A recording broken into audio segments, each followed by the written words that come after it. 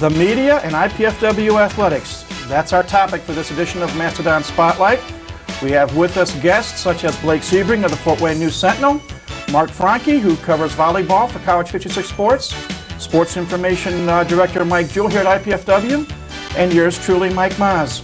We're going to talk about the media and IPFW athletics. Our show is Mastodon Spotlight, and it's coming up next.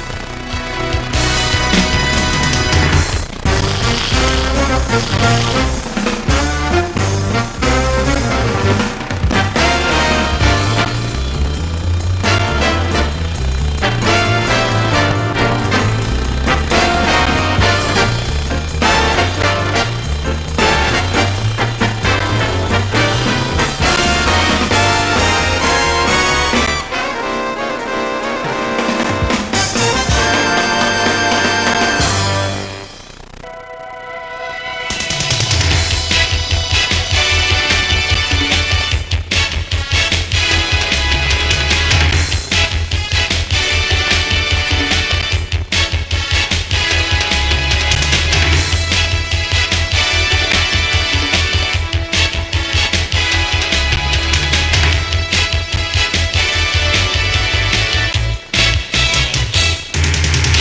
Hi again, everybody. I'm Mike Maz. Welcome to another edition of Mastodon Spotlight.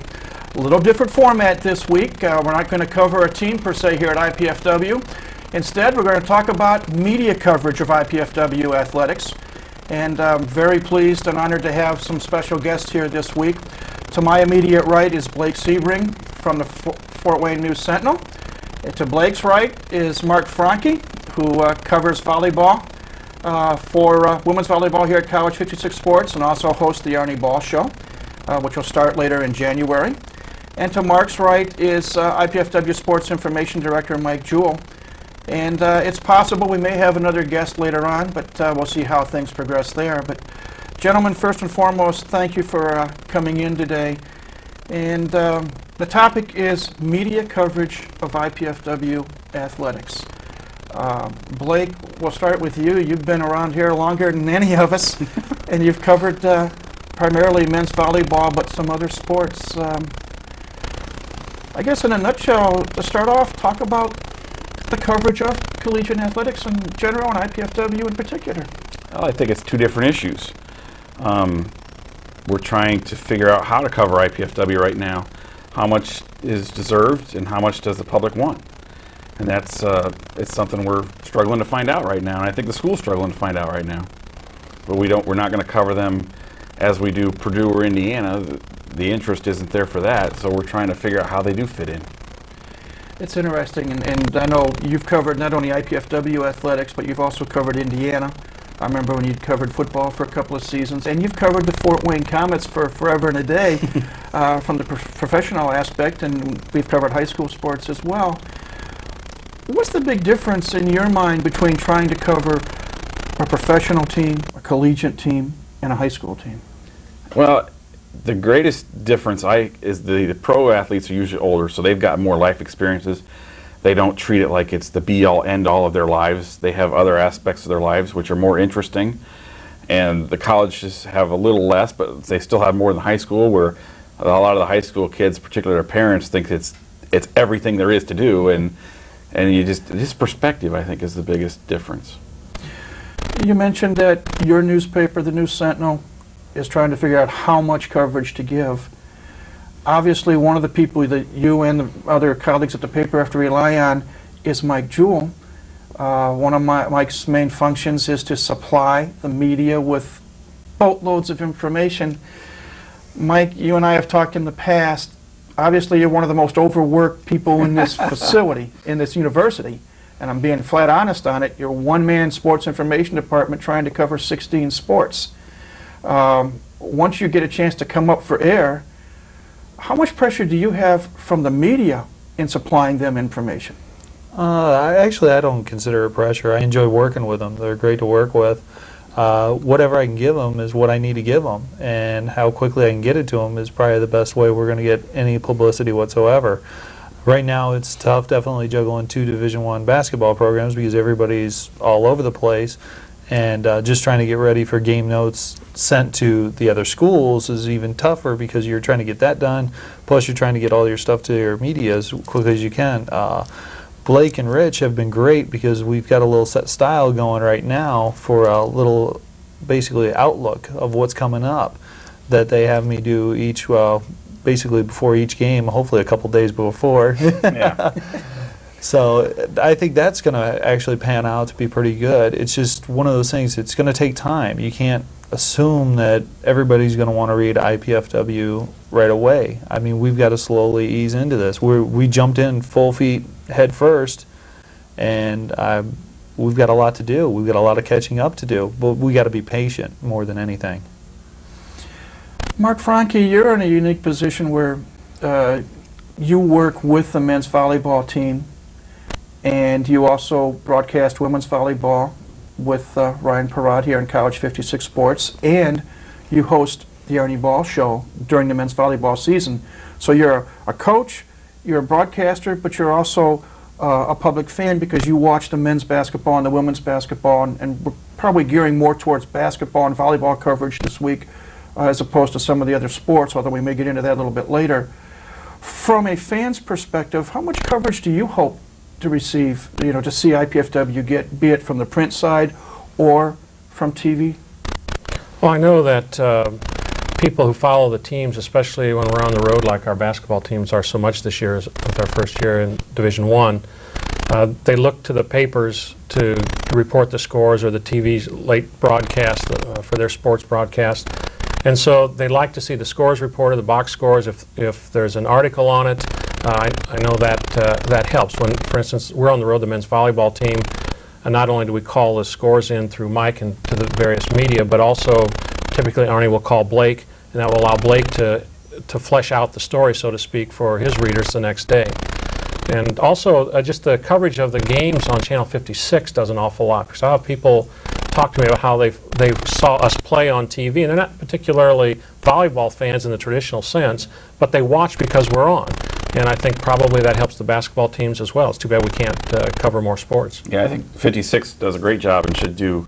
I know they don't have the finances, but I think that should be a priority for the school because you look at what we, they did with the volleyball program throughout the 80s. That's how they built the program. I mean, they were thousands of people who may not have come to games, but they were IPFW fans. And then when the Final Fours would come or something like that, they were always out to support it. And I think that's how they built the fan base. I think, uh, as I recall back when we first started televising in the late 80s, um, there was an argument going on. If we put it, the, the uh, games on TV, we'll cut our, our gate. And in fact, I think just the opposite happened because people who wanted to follow the team could follow the team even when they couldn't make the game in person. If they were somewhere else, they could videotape it and, and watch it later.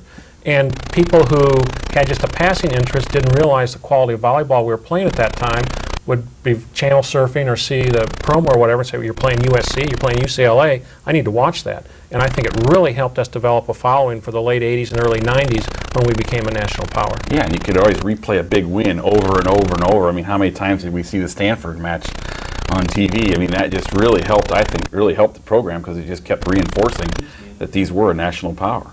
And that, that's really nice to be able to replay a win because typically the coaches replay the losses. Yeah, exactly. And make the teams watch those. It, it made going to the games an event that they've kind of lost. When we talk about an event, and uh, like for example, we're looking forward very much here at College 56 come January the 11th. It's the opening of the men's volleyball season, and Long Beach State. Uh, Arnie and I, I had Arnie on the show last week, and and I kidded him. I said, just a ho-hum opening opponent. And you can imagine what his response was. But can we open it. but we, we open up against Long Beach State here at the Gates Sports Center, and we're going to be able to broadcast it on College 56 Sports. And, and, and it, it is an event. Um, and some people may not like what I'm going to say, but it's a fact. Volley, men's volleyball and to some degree women's volleyball is still the elite sport here on campus. I know there are some factions that are hoping that men's and women's basketball will have not sup, uh, supplanted, at least get it up on an equal basis. But volleyball is still the sport, and Arnie's done a heck of a job over the last 22 years in trying to promote it. Um, we've got this event, and we're looking forward to broadcasting it on TV. I know you've covered the team, and, and everyone's looking for better things this year because last year was an uncharacteristic year for IPFW volleyball. Now, in preparation for that opening match, how much work are you going to have to do? To be honest, Mike, I hadn't even thought about it yet. I've been so busy with everything else, I haven't even looked at it. I mean, I've talked to Arnie casually a few times, but I haven't had a chance to even look at it. That's how busy we've been. I'm You need, sorry. some, you need some help, though. Well, that's not going to happen either. Mike needs a lot of help too. I mean, you said Mike's the most overworked man, and Mike's the most overworked man in this city, and that's the school's fault. That is a huge problem for this school. He can only do so much, and uh, he needs help.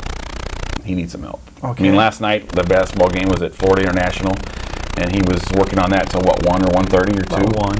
And he was in this morning at seven thirty. That's insane, and I blame the school for that. I blame the school totally for that. That is, that's abuse.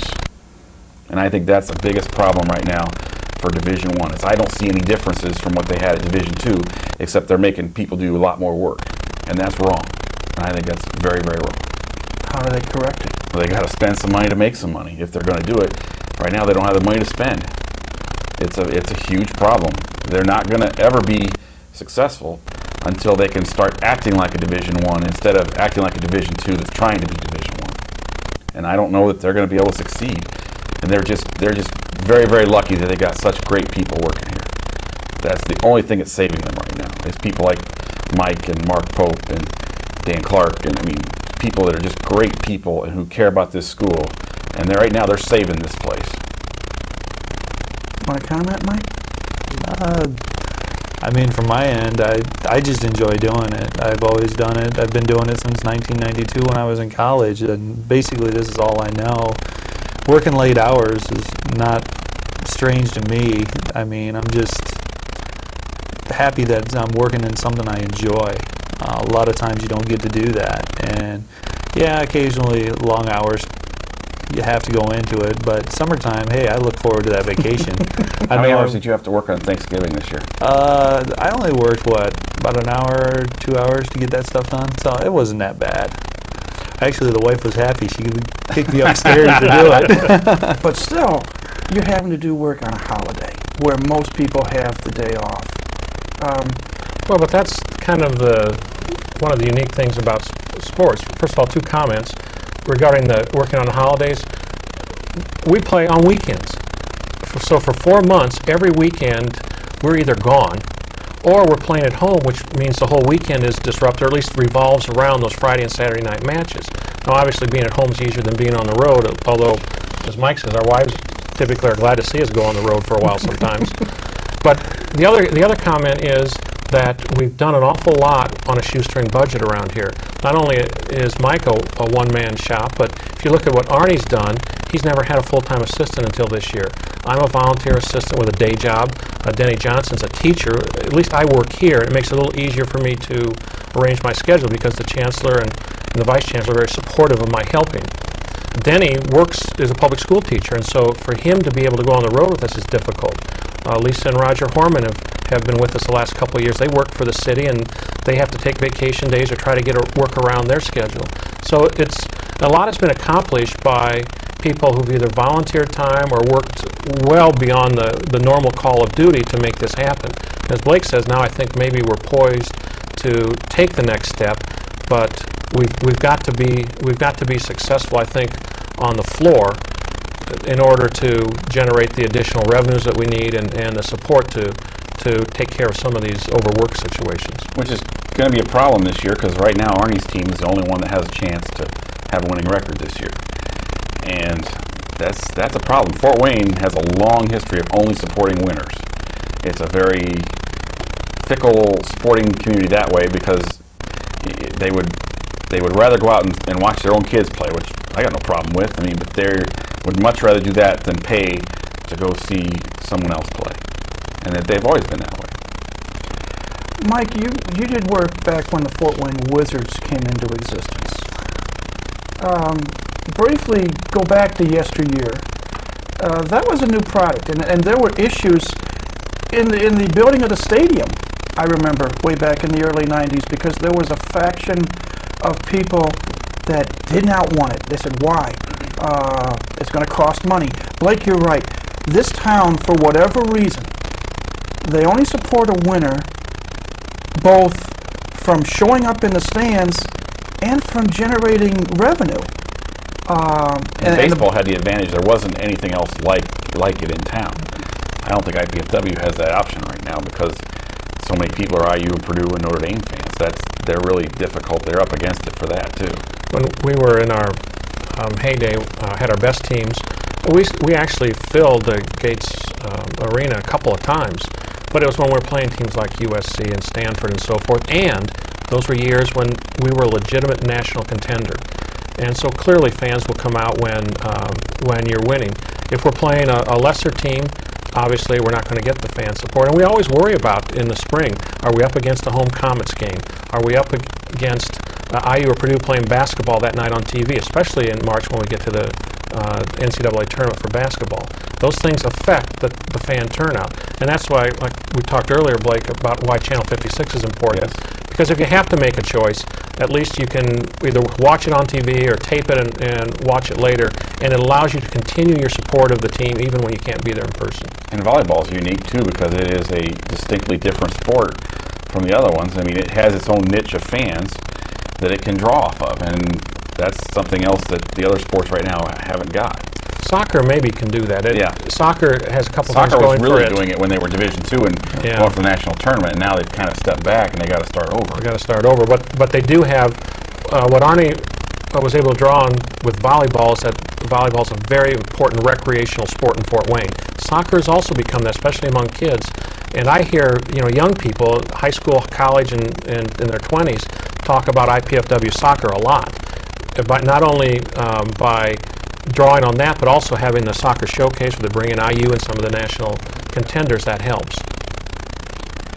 I know Arnie mentioned last week that one of the big issues that's going to come up as far as saving volleyball on a national scale is that there has to be TV.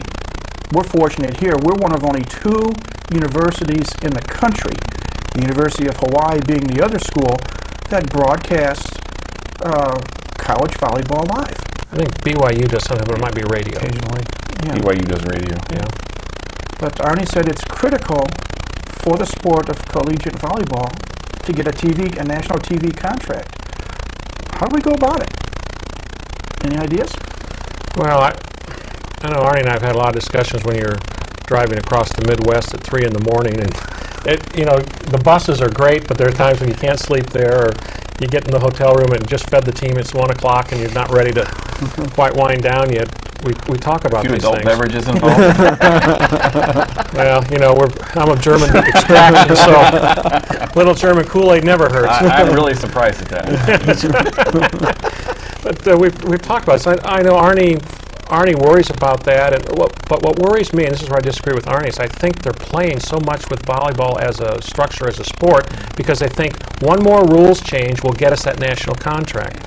And I just think volleyball and a lot of these sports are up against so much competition for for TV time and dollars that that it is an, an up-road thing or an uphill thing. I, and I don't know what the answer is. I just worry that they will change volleyball to the extent that it's not recognizable for those fans who who played it in park board leagues and so forth, and they lose their core of their support. We're going to take a break, and uh, when we come back, we'll continue our discussion of the media, coverage of IPFW athletics, and who knows what else. But that's when Mastodon Spotlight returns in just a moment.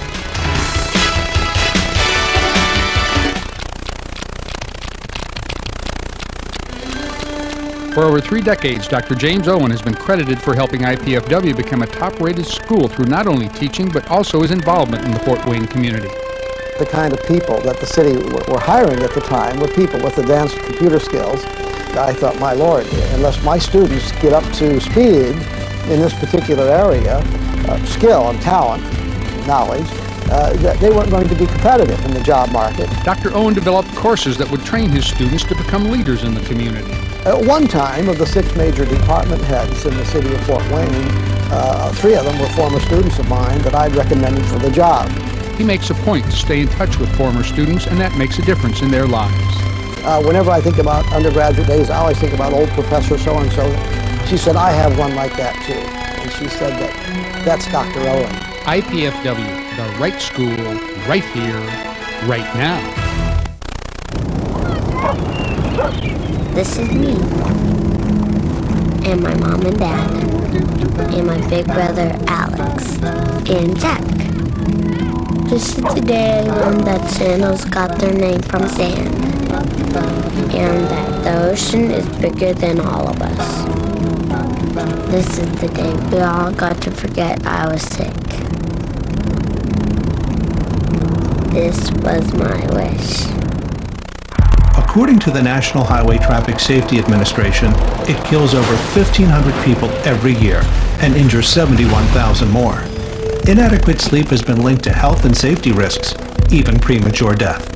But today, new treatments are helping millions get the sleep they need. So talk to your doctor or take our free risk assessment on the web at sleepfoundation.org. Sleep deprivation. It's real, it's dangerous, and it's more treatable than ever.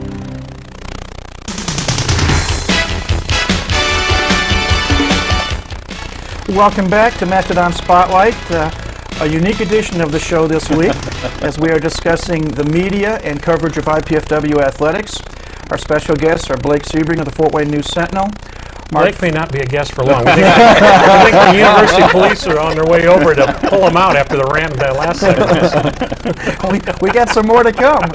Uh, to, to Blake's right is Mark Franke, who uh, doubles not only Used as to have a job here. used to be an employee here at IPFW and, and also uh, uh, hosts the Arnie Ball Show in, in men's volleyball season and works women's volleyball with Ryan Perot here in College 56 Sports. And as we've alluded to a couple of times earlier in the program, the most overworked man, not only at IPFW, but in the city of Fort Wayne, uh, Sports Information Director Mike Jewell. And um, if we could only get the real thoughts and feelings, guys, uh, on how, uh, how it goes. One area I wanted to get into, and, and we were hoping to have a couple of other guests today, and evidently they're not able to make it. But in covering IPFW athletics, obviously you have to build a rapport. Uh, you and Arnie, for example, because you cover volleyball. Um, but in other sports, as a reporter, you're always trying to find out every and anything. And, and the question is, when you find out particular information, and a coach asks you not to do anything about it, where do you draw the line as to whether you do report it and write about it or whether you don't? Nine times out of ten, I'm the one telling the coach what's going on, that kind of thing. but uh, I mean, that just never happens. It just doesn't. I mean, it's just not an issue. Um, you know, I think one of the great things about this place is that they do have the right people in place as coaches. They got great people as coaches. I mean, they have the perfect people in the perfect spots. You're never going to find a better coach for this place than Kelly Hartley, and she's just fantastic. And they- they're lucky if they can keep her for as long as they do. I mean, they if anyone deserves a lifetime contract, there it is. And Bruce Patterson and, and Doug Noll are the perfect coaches for for uh, basketball. And Terry Stefankiewicz, I mean, I don't know how anybody does what he does. I mean, coaching two teams like that, he he's amazing. He's my hero. I mean, how he does that. Um, and the other thing is, I'm out here all the time, so it's not like I'm just surprising the coaches and showing up and saying, "Hey, I hear about this," and you know, I'm out here all the time, so we've got a pretty good relationship with all the coaches and stuff, and and um, you know, it works. You mentioned earlier that your newspaper, as well as the Journal Gazette, obviously there are concerns about how much coverage should be given. What is your personal feeling how much coverage should be given, and what is the paper's official position? I think we're still finding out. I mean, they had 2,000 people at the opening basketball game, but you know, less than a thousand of that was paid. So how do you judge? I But some of that unpaid, though, are students who Oh, sure, I understand have that. But how many- basically the- the bought question I- season tickets to everything through their Sure. uh, fee. The question I have though is how many people don't show up that night, but how many people show up the second night over here against I think it's Chicago State. Yep. I mean that'll be really big. And the other problem is you can't. It's really hard take away coverage from something else. It's not like we can add more people right now to do it. So, you know, every high school basketball game out there draws at least 2,000 fans every night. And then, you know, if IPFW can't do that, how do you justify taking coverage away from that or taking the coverage away from the Komets who get 6,000 every night? And you know you're not taking it away from Indiana, Purdue, or Notre Dame. That's that'd be suicide. So how do you justify? And it's a tug of war. It's That- really difficult right That's now. part of what we're competing for, not just competing for the fans' attention, but we're competing for column inches in Blake's paper and, and other media. Um, and if if you're competing, like our basketball teams, not only compete against IU and Purdue basketball, which have big followings in Fort Wayne, but high school basketball is very big, obviously, in, in Indiana, and, and especially in the in the um, the rural areas around Fort Wayne, where they have those 2,000 uh, per night crowds. So that's that's tough too. You know, the one thing that was really hard about opening night for basketball, it was the same night as semi-state for football. And there were four teams playing, and you know there was 3,000 people from Fort Wayne at each game. You know, that was really, really hard. And, and how do you justify sending two people to the basketball game, which is, you know, 2,000 folks or whatever, and not double covering the football games? And that was a bullet we had to bite. When we first went to NCAA, which is probably what early to mid 80s, 86, I thought. Was okay. Um, we had the discussion about how do we build fan support. And at the time, there were there were some of us who were in the minority. In fact, if I'm with them, they're always in the minority. We know that. but thought that it's it's a long-term process that you work at developing student support because most of our alumni are uh, first of all, our students live here and most of them stay here and so you, you can build that alumni support because they, they remain local and at that time I thought no we have to really look to the community to, to, to bring in fan support now I'm- I'm really encouraged um, this year that the student government has taken it upon themselves to be very active in generating fan support for basketball and I a lot of I, I think we probably had 500 students um, No, at at that game. yeah. That's a lot for a basketball game for us because they did they built a homecoming kind of thing around it and they had a little I had a concert afterwards. So if, if they try to integrate athletics into the students' social life with the other things that are going on, I think it helps the campus as a whole, but also uh, is uh, portends well for the long-term viability of the athletic program. Two points. It would really be helpful and help make our decision easier if people bought more papers because of coverage of, the, of IPFW. That would make things a lot easier, and it would be a really clear sign that, hey, we do need to pay more attention to this. And the other problem is, and this is the school's biggest problem, and even the coaches are using it as a recruiting tool. They don't tell the kids, well, you can graduate with an IPFW degree. They say you can graduate with an IU or a Purdue degree. And that is the biggest problem because a lot of these kids that graduate from here, they don't say they graduated from IPFW. They say they graduated from IU or Purdue. The school has to somehow find a way to build its own distinct identity. And I think that's part of the reason they went to Division One was to try to do that. But that, that's that's really really hard to do because you know, like we said, you're competing against IU and Purdue for attention. And you know, if most of your own students would rather watch those, then you're that's really difficult. the short-term goal probably is to get on board and as I say, get more coverage. And I know, Mike, you're probably inundated amongst uh, not just the papers, but the three TV stations here in town. Uh, you know, get us info, get us info, get us info. Uh, how do you see the war? And it's it is a war. Let's make no bones about it. Oh, I don't know about that. Let's talk. There's Well, you've got established- wars going on right now. well, yeah, maybe that's a poor choice of words. Um, It's a it's a struggle. Yeah, good, good, good choice of words. But you, as you say, you've got IU and uh, IU, Purdue, and Notre Dame football, basketball, um, and we've got you know here we are, tiny little IPFW, where or they still show it on uh, on ESPN in some cases. IUPU Fort Wayne. um, here we are, the little uh, sliver. And how do you know? It's a it's a tough road to hoe yet expectations are high. So, you know, we have to dig in for the long haul, but for the short term, you know, what can we do? What else can we do? Well, I mean, right now I know I'm plugging away on just little things. Like for basketball, of course, we got to report to ESPN and Fox Sports.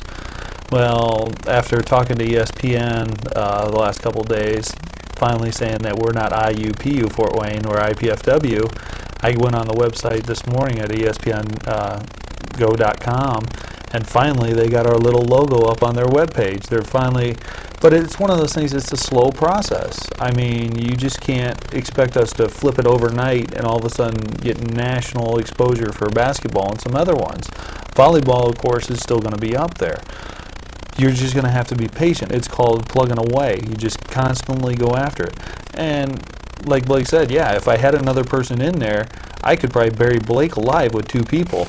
And Blake, Blake then would want to come after me and probably take me out somehow. But I'm take you out to dinner. but I mean, for the most part, it's going to be a slow process. I mean, if basically the readership's got to have X amount of papers IPFW, maybe I'll go down to the News Sentinel one morning, buy up 5,000 of them, and say, Blake, hey, guess what I got? Even though that Where you wouldn't work. get that budget? then your wife might have something to say, Mike. Yeah, that's my Christmas bonus. No. 5,000 But- papers at 50 cents a paper? Yeah, I mean, but that that's the thing. We're just going to have to keep plugging away. And what's going to have to happen is the teams are going to have to start winning. Once they start winning, people will start coming. People want to know us. And it's only going to take one or two times that you're actually going to have a big thing. I mean, look at Ball State right now. They're riding on a biggest high they probably had in a long time in basketball since Chandler Thompson was there. Well, guess what? They got two more games and they face us. We go down there and knock off number 16. You don't think IPFW can have a big high then too? I mean that that will get you known. But the thing is, it's just going to take time. We got to be in the right place at the right time. In that case, we will be going up against Michigan State. Hey, who knows if you do take out Michigan State? You probably got most of be their big a guys. shock. Yeah, it'd be a shock, but it's something that can be done. I Not mean, with this rebounding. oh yeah, that's true. You know, everybody always pointed to Valpo when they were talking about IPFW going to Division One. Look at Division One did for Valpo. I was at Valpo when they started that. They lost a million dollars a year for probably 10 years, and I don't know if IPFW can afford to do that. And Valpo is a private school; they could write it off. And IPFW as a public school is not allowed to do that. So, you know, I mean, they gotta. It's going to take a long haul, and people forget. You know, it took Arnie 20 years to build the volleyball program to where it is, and he was doing it with all local kids mostly. That's not going to be an option with the basketball teams. It might be more of an option with the women's basketball team, but it's certainly not going to be an option with the men's basketball team. And it's, it's going to take some time, and I don't know that IPFW has that kind of time. One of the issues that uh, we face in that is, is in recruiting. And obviously in the past where scholarships have been um, underfunded pretty much in every sport, that's, that's been a problem. Uh, and now the scholarship budgets are being increased by, uh, which are funded through donations from, from the community. Um, that's going to help. But it's still, it's, this is still a, a difficult campus to recruit to because we're, as you said earlier, we're not IU and we're not Purdue. And students understand that and and we don't have dorms, and so it doesn't look like a real campus. And, and so there's a lot of things that the coaches, when they go outside of our, our immediate area, have to recruit against.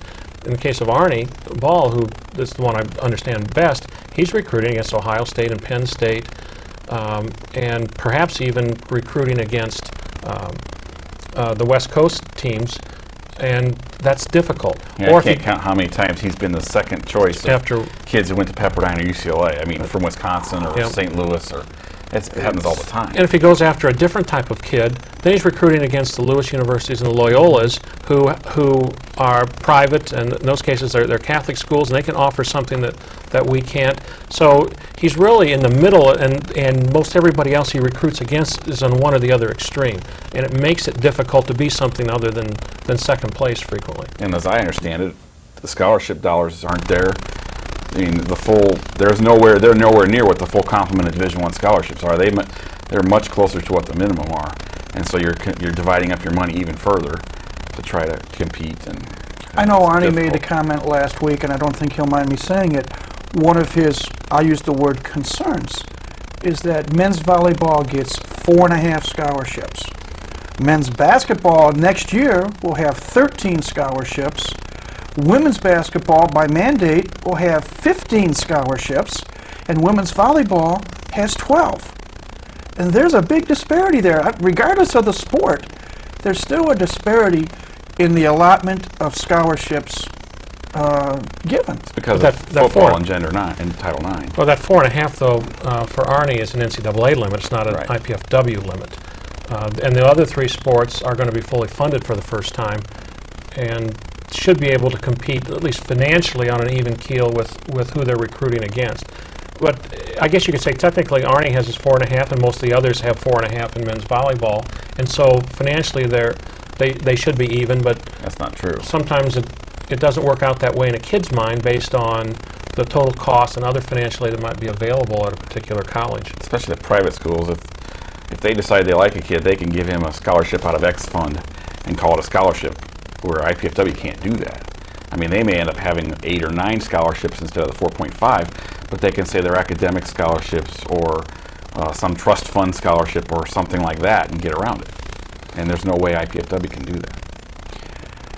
Correct me if I'm wrong, Mark.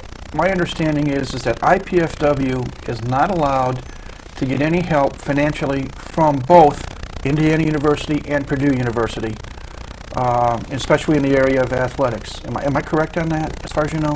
IPFW is funded separately by the state legislature. Our, our state appropriation comes to us directly, comes through Purdue University, but it's allocated for our campus.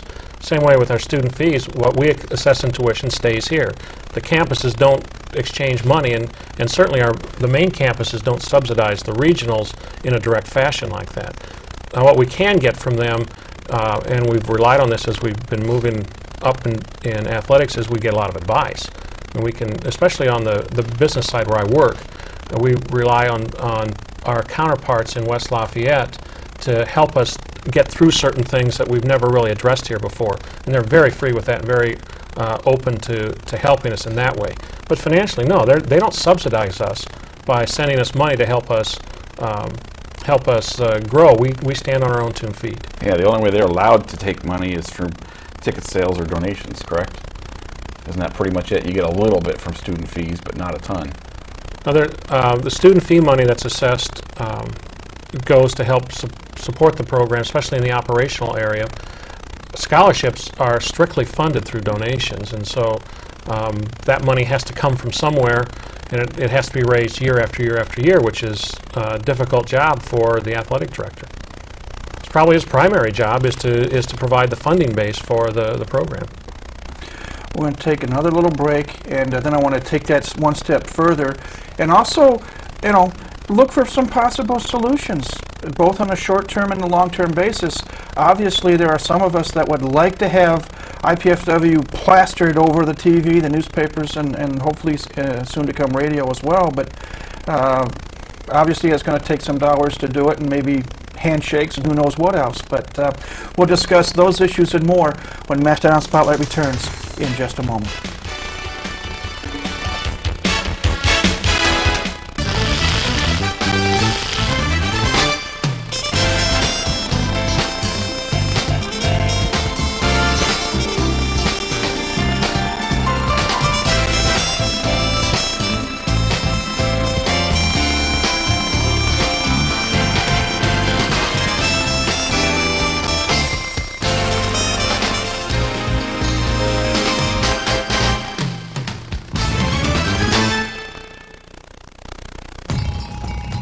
Today's teenagers, the way people talk, you'd think they can't do anything right. It's just not so. We get to know over 300,000 kids a year, smart kids, who know what they want. They believe in themselves, and they believe in America. Some go straight to college. Others choose to learn leadership, discipline, courage, and commitment first with us. Today's military, making a stronger America, one good kid at a time.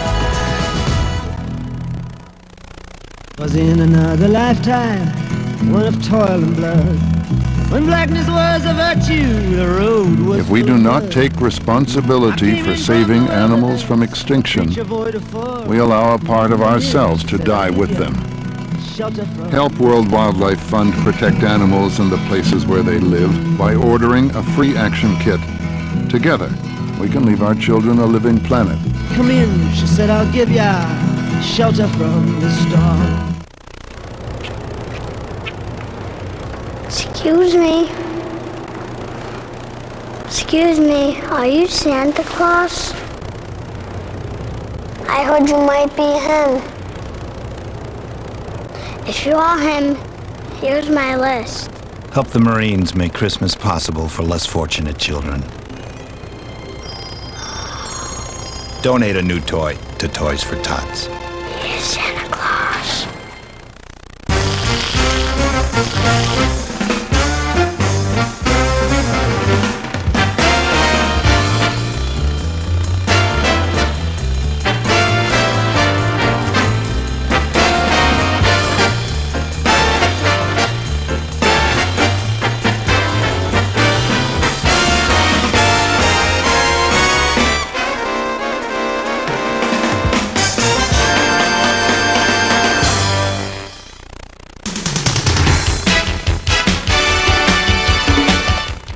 Welcome back to Mastodon Spotlight. We've had a, uh, an enlightening conversation so far this week uh, regarding uh, the media and IPFW athletics and uh, how the two can be intertwined and how they need to be separated. Um, our special guests are Mike Jewell, Sports Information Director here at IPFW, Mark Franke, who works for the university, uh, or at least he used to up until this time to take the show, and also works with College 56 Sports and hosting the Arnie Ball Show and working women's volleyball. And Blake Sebring from the Fort Wayne News Sentinel, who has been around here longer than any of us, the possible exception of Mark, I'm not sure, but uh, Blake has covered IPFW athletics for the paper for quite some time. And Mark, we were before we segued out the last break. We, I asked the question initially uh, to verify that IPFW cannot get financial help, especially in the area of athletics, i.e., media and so forth, from both Indiana University and Purdue University. Yet here we are. We're now supposed to be one of the big boys in Division One, and we're supposed to be able to fund this increased number of scholarships for all these sports. Uh, I mentioned 28 combined for men's and women's basketball, uh, women's volleyball, as Arnie alluded last week on the show, 12, men's volleyball, four and a half. Soccer, I know that Terry had mentioned in previous shows that uh, eventually is supposed to get up into double digits. I think soccer uh, is limited to 9.99 or something like Or that. close to 10. The total, the total is 78 eight as a minimum, as a floor, uh, for scholarships to be awarded. And the That's- reason- reason That's a lot more than we've been awarding Division Two. Yeah, infinitely a lot more. The reason there's a discrepancy is because football. Even though IPFW doesn't have football, the limits for scholarships per sport are rigged so that the men have quite a bit less than the women, so that uh, if you have football at your school, it evens out. It has to even out for gender equity. Well, do we put football on the agenda for five or six or eight or 10 You'd years go broken. The whole school would go bankrupt in three years because football costs that much to run. Just your insurance alone right now would be probably what a million dollars. I mean, a year. It's insane. And the and the travel. Try to travel with 100 people. What would that cost you? What would you know, what would the equipment cost? I mean, you'd have to spend probably five or six million before you ever played your first game. And yet, University of St. Francis, granted, it's a Catholic school. It's a private school, though. Private school, and they were able to start the program, build a stadium, and put some quality players on the field because they've had three very successful years uh, after and they the did it all year. by on loans. I mean, it's basically all done. Uh, we'll pay you later, and I there's no way IPFW could do it. They're just it, it'd be physically impossible. Well, the other thing is they're obviously not Division One NCAA, and that makes a difference. And with a small private school like that, athletics sometimes can be a major recruiting emphasis for your school. For instance, uh, I might be off somewhat on the numbers, but I think I'm close. Lewis University, which uh, competes in the in the MIVA against us, the men's team. What, when we were in the GLVC, they were a major competitor. It's a Catholic school up outside of Chicago, and they I heard that two thirds of their students are athletes. They have a team and everything, and when you go into their gym, they have all sorts of banners hanging around about their conference and, and national championships and, and competitions. But they recruit athletes, and they, they say, you know, high school kids, I think St. Francis maybe is trying to get a little of this. I played hi- football in high school, and I'd really like to play in college, but I'm not being recruited by anybody. Well, St. Francis can recruit me. I can go there, maybe get a partial scholarship, and pay the rest of the tuition myself, which helps the overall coffers in a school like that. And I have a chance to play college football. And uh, their turnover rate's pretty high. They have to keep recruiting a big freshman class every year. But if those students stay at a college like that, then they've increased their enrollments. And a, and a small private school is very, very much enrollment driven, even more so than we are. And a private school has the option. Say it's, I don't know that Lewis does this. I'm guessing they do. If they they bring in 40 kids, they don't necessarily have to raise the scholarship money for 40 kids. They can just write it off. IPFW has to raise that scholarship money for 40 kids, so they're behind already right there. I mean, that this private schools have that option. The private schools do a lot more tuition discounting than what a public school would do, where, where really the net tuition paid by any given student varies. And in fact, a large percentage of the tuition revenue, in fact, might be written off or, or discounted, as, as the accountants would call it. So we can't go within these state universities, and we're funded by the state legislature, and we have a general public that, for Who the you've most ticked part, off with the Corpus Christi stuff.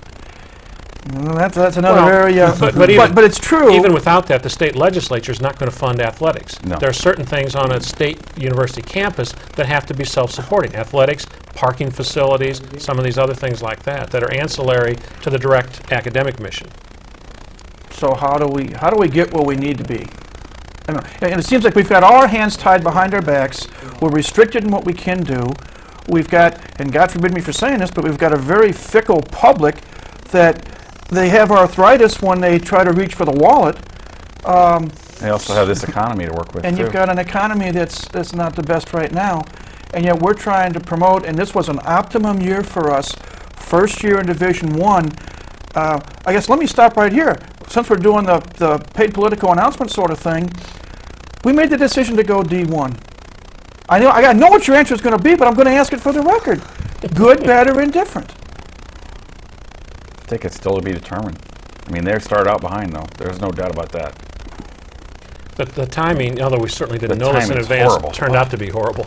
I mean, they, they basically, and I'm, they're going to hate me for saying this, they shafted about 40 kids.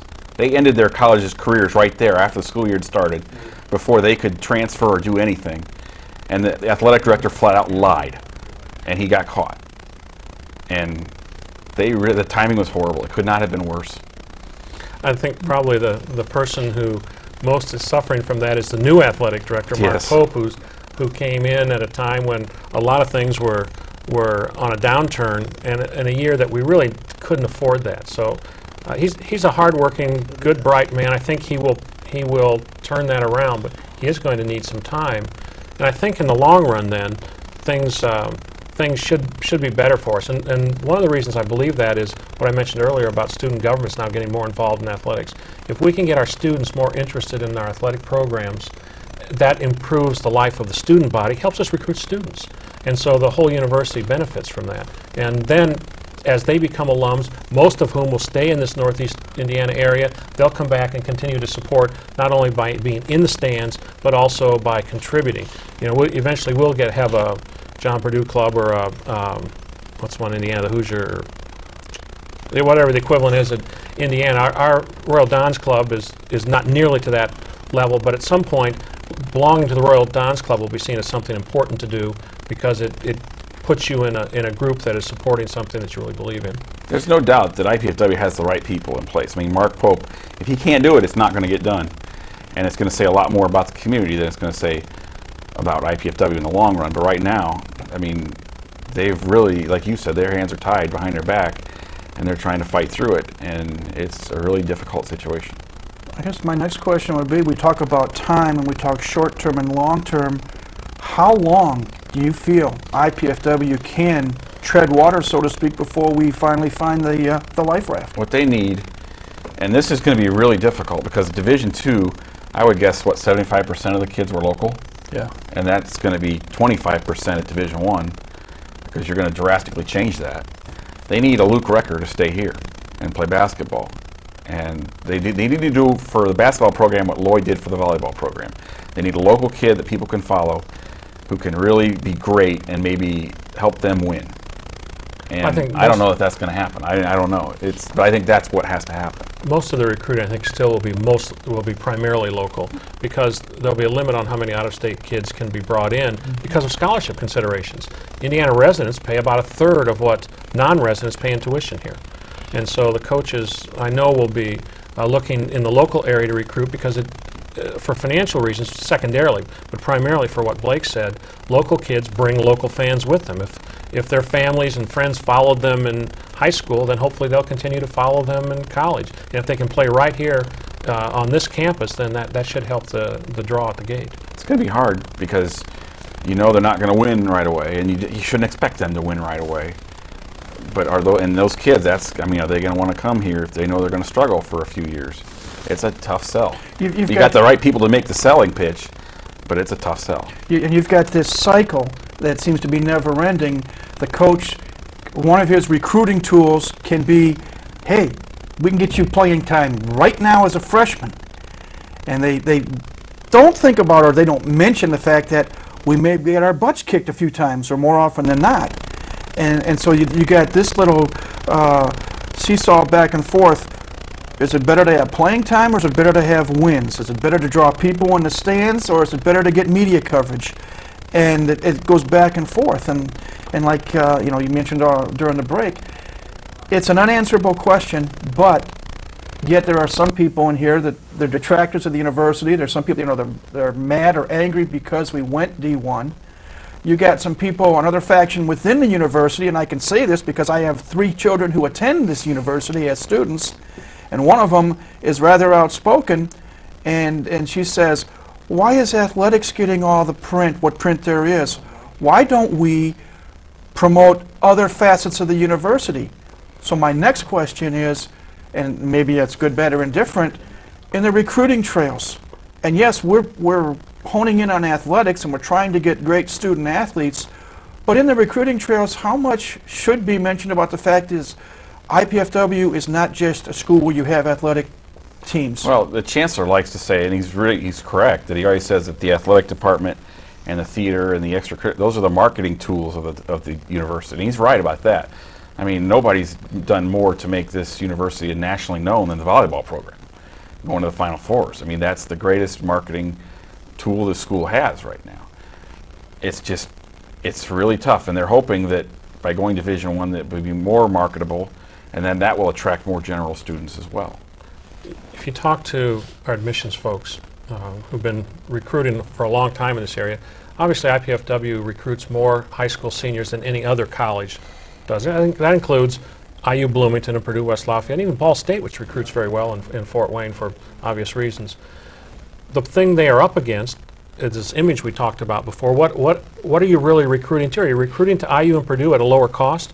Are you recruiting to IPFW? And I think what Division One athletics does, and the and the dorms um, when that they come in a year, will make us look more and more to a 17-year-old like a real university, as opposed to a second choice university or a, uh, uh, you don't hear this much anymore, but an extension center.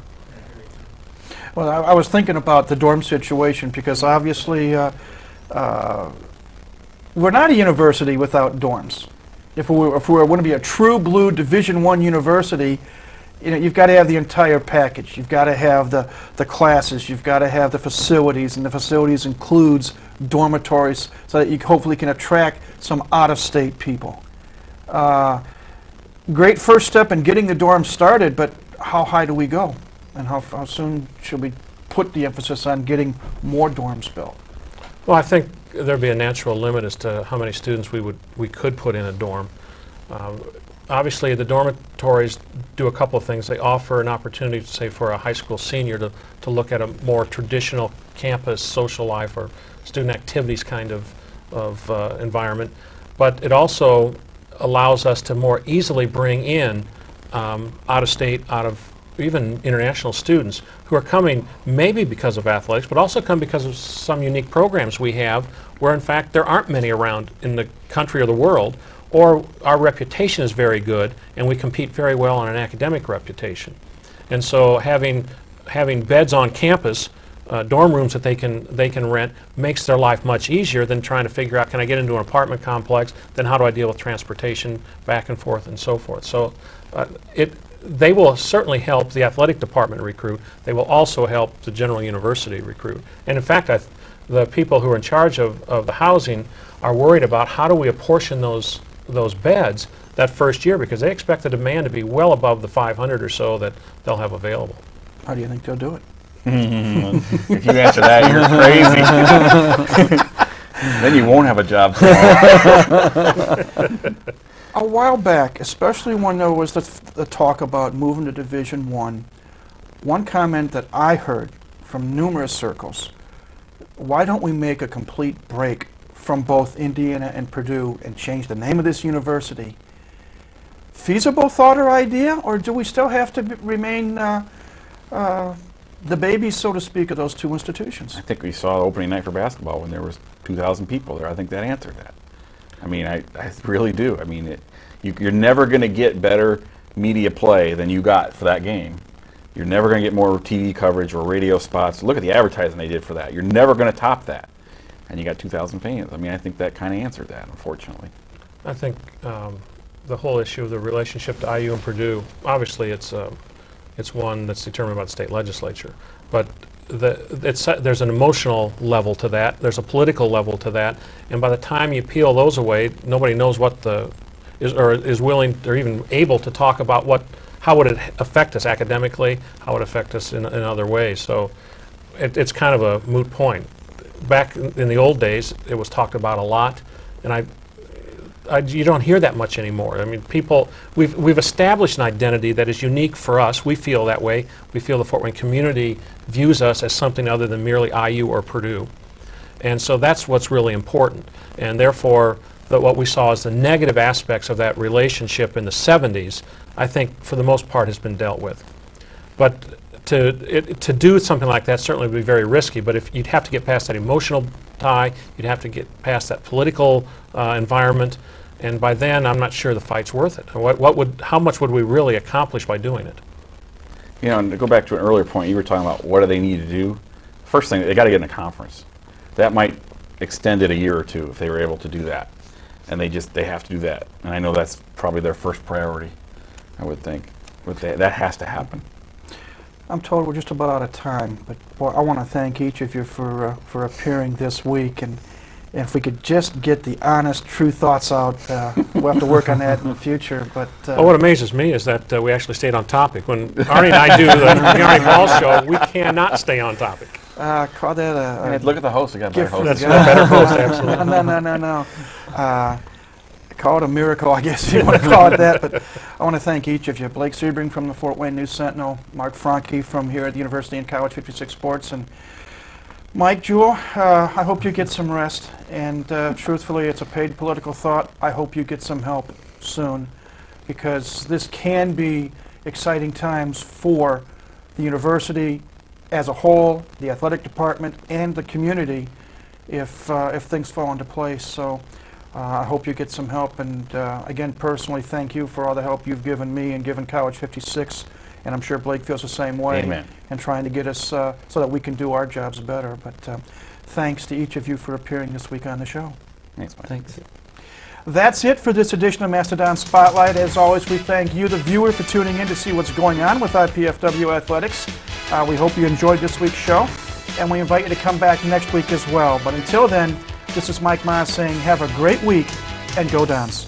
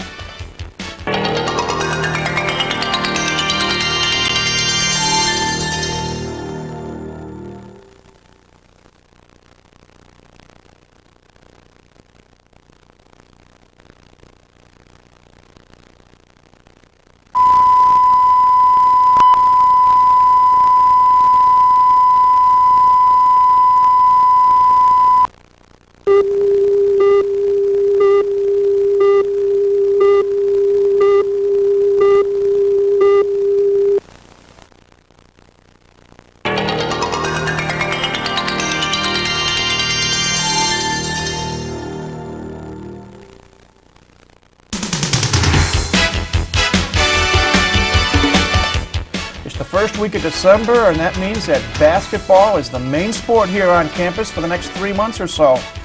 On this week's edition of Mastodon Spotlight, we'll be meeting with both men's and uh, women's head basketball coaches, Doug Noll and Bruce Patterson, and uh, hopefully have some players as well, as the teams are underway and playing some good, tough basketball. It's Mastodon Spotlight, and it's coming up next.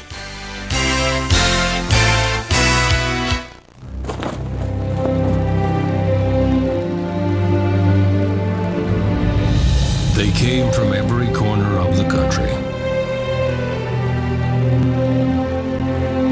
From small towns and big cities. But they all shared one thing in common. They belonged to a family called Marines.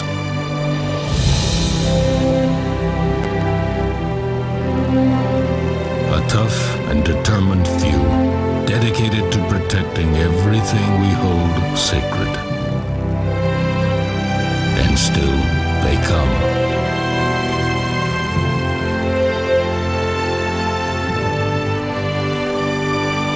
celebrate the 225 year history of those proud few who have earned the title Marine.